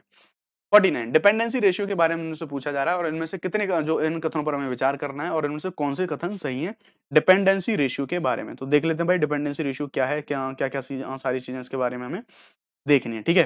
चलो देख लेते हैं कौन कौन से इस बारे में सही है। इसका उपयोग कार्यबल के सापेक्ष आर्थिक बोझ को समझने के लिए तैयार करा जाता है। बिल्कुल सीधी सी बात है। सिंपल सा मामला है, यानी कि कितने लोग तो अपना आर्थिक स्वतंत्र हैं, यानी कि जो खुद कमा खा रहे हैं, और कितने लोग जो जैसे हम, जैसे लोग हम लोग जो प्रिपरेशन कर रहे हैं तो सीधी सी बात है, हम डिपेंडेंट ही है ना तो हम जो हमारा आर्थिक बोझ ही है हम अपने घर वालों के ऊपर तो इसका उपयोग जो कार्यबल के सापेक्ष आर्थिक बोझ को समझने के लिए कराया जाता है। यानी कि हम जितने लोग डिपेंडेंट हैं, जो कार्यबल के ऊपर, यानी हमारे घर में जो लोग काम करने वाले हैं, उनके ऊपर हम लोग डिपेंडेंट हैं तो इसके लिए हम जो इसका यूज़ करते हैं। पहला हो जाएगा सही। दूसरा वर्तमान में भारत में कुल निर्भरता अनुपात लगभग 50 परसेंट है। बिल्कुल सही बात है, हमारा ऑलमोस्ट यही चीज़ें आ रही हैं। देखो, कार्यबल की कई बार परिभाषा भी पूछ ली जाती है तो 15 से चौसठ वर्ष की आयु के जो लोग हैं, ये श्रम जो है, उसमें गिने जाते हैं, श्रम बल में। यानी कि ये अब काम करने वाले जो है, उसमें गिने जाएँगे, ठीक है? तो इस तरह हमारा ये दोनों इसके राइट आंसर हो जाएँगे। तो एक क्वेश्चन कम हुआ है, इसमें थोड़ा सा ध्यान रखेंगे, गलती होगी ध्यान नहीं रहा स्टेटमेंट में, आगे एक दो क्वेश्चन गलत कर लेंगे दूसरे जो टेस्ट में, ठीक है? तो इस तरह भाई हम पचास पचास क्वेश्चन है हम अपने पचास पचास क्वेश्चन के द्वारा इनको ऐसे डिस्क्राइब करते करते पचास क्वेश्चन का एक सेट बनाएँगे और जब एग्ज़ाम बहुत नियर बाई होगा तो हंड्रेड क्वेश्चन के फुल लाइन टेस्ट मारेंगे हम। ठीक है? तो इस तरह से जो मैंने आपको बता दिया और हाँ आपको मैं एक चीज़ बोल रहा हूँ, अगर आपको कुछ चीज़ें समझ में आ रही है, पसंद आ रही है तो प्लीज़ ब्रांड्स के, उसके लोगों पे और उन सारी चीज़ों पे ना जाएँ आप। स्टैंडर्ड आप देखें क्वेश्चन का स्टैंडर्ड वही है, सारे कंटेंट उसी लेवल की सारी चीज़ें यहाँ पर आपको प्रोवाइड कराई जा रही हैं। और हाँ आपको चीज़ें अगर प्लीज़ पसंद आ रही हैं तो प्लीज़ यार आप जीएस विमर को थोड़ा सा सपोर्ट करिए। आपके सपोर्ट के बिना चीज़ें संभव नहीं है। दूसरी बात टेलीग्राम को आप ज़रूर ज्वाइन कर लें डिस्क्रिप्शन में आपको लिंक मिल जाएगा। बहुत सारी चीज़ें ऐसी होती हैं जो मैं आपको यूट्यूब पे नहीं बता पाता। वहाँ पर मैं डायरेक्टली कंटिन्यूसली जल्दी जल्दी मैसेज करता रहता हूँ जो भी मैसेज आपको बताने होते हैं। हाँ बहुत सारे मैसेज ऐसे होते हैं जो यूट्यूब पर नहीं प्रदान किए जा सकते। उन सारी जो सीक्रेट्स कुछ चीज़ें होती है मैं आप, आपको टेलीग्राम में बताता हूँ। तो प्लीज़ आप उसको ज़रूर ज्वाइन कर लेंगे वहाँ पर हम मिलते रहेंगे तो कुछ ऐसी बातें होंगी जो नहीं सबको शेयरेबल होंगी उनको भी हम वहाँ पर डिस्कस कर रहे होंगे। हाँ जो है जीएस उमर को सब्सक्राइब ज़रूर कर लेना यार। तो मिलते हैं आपसे अगले टेस्ट में। ध्यान रखिए तक साथ बनाए रखिएगा मिलते हैं जय हिंद बाय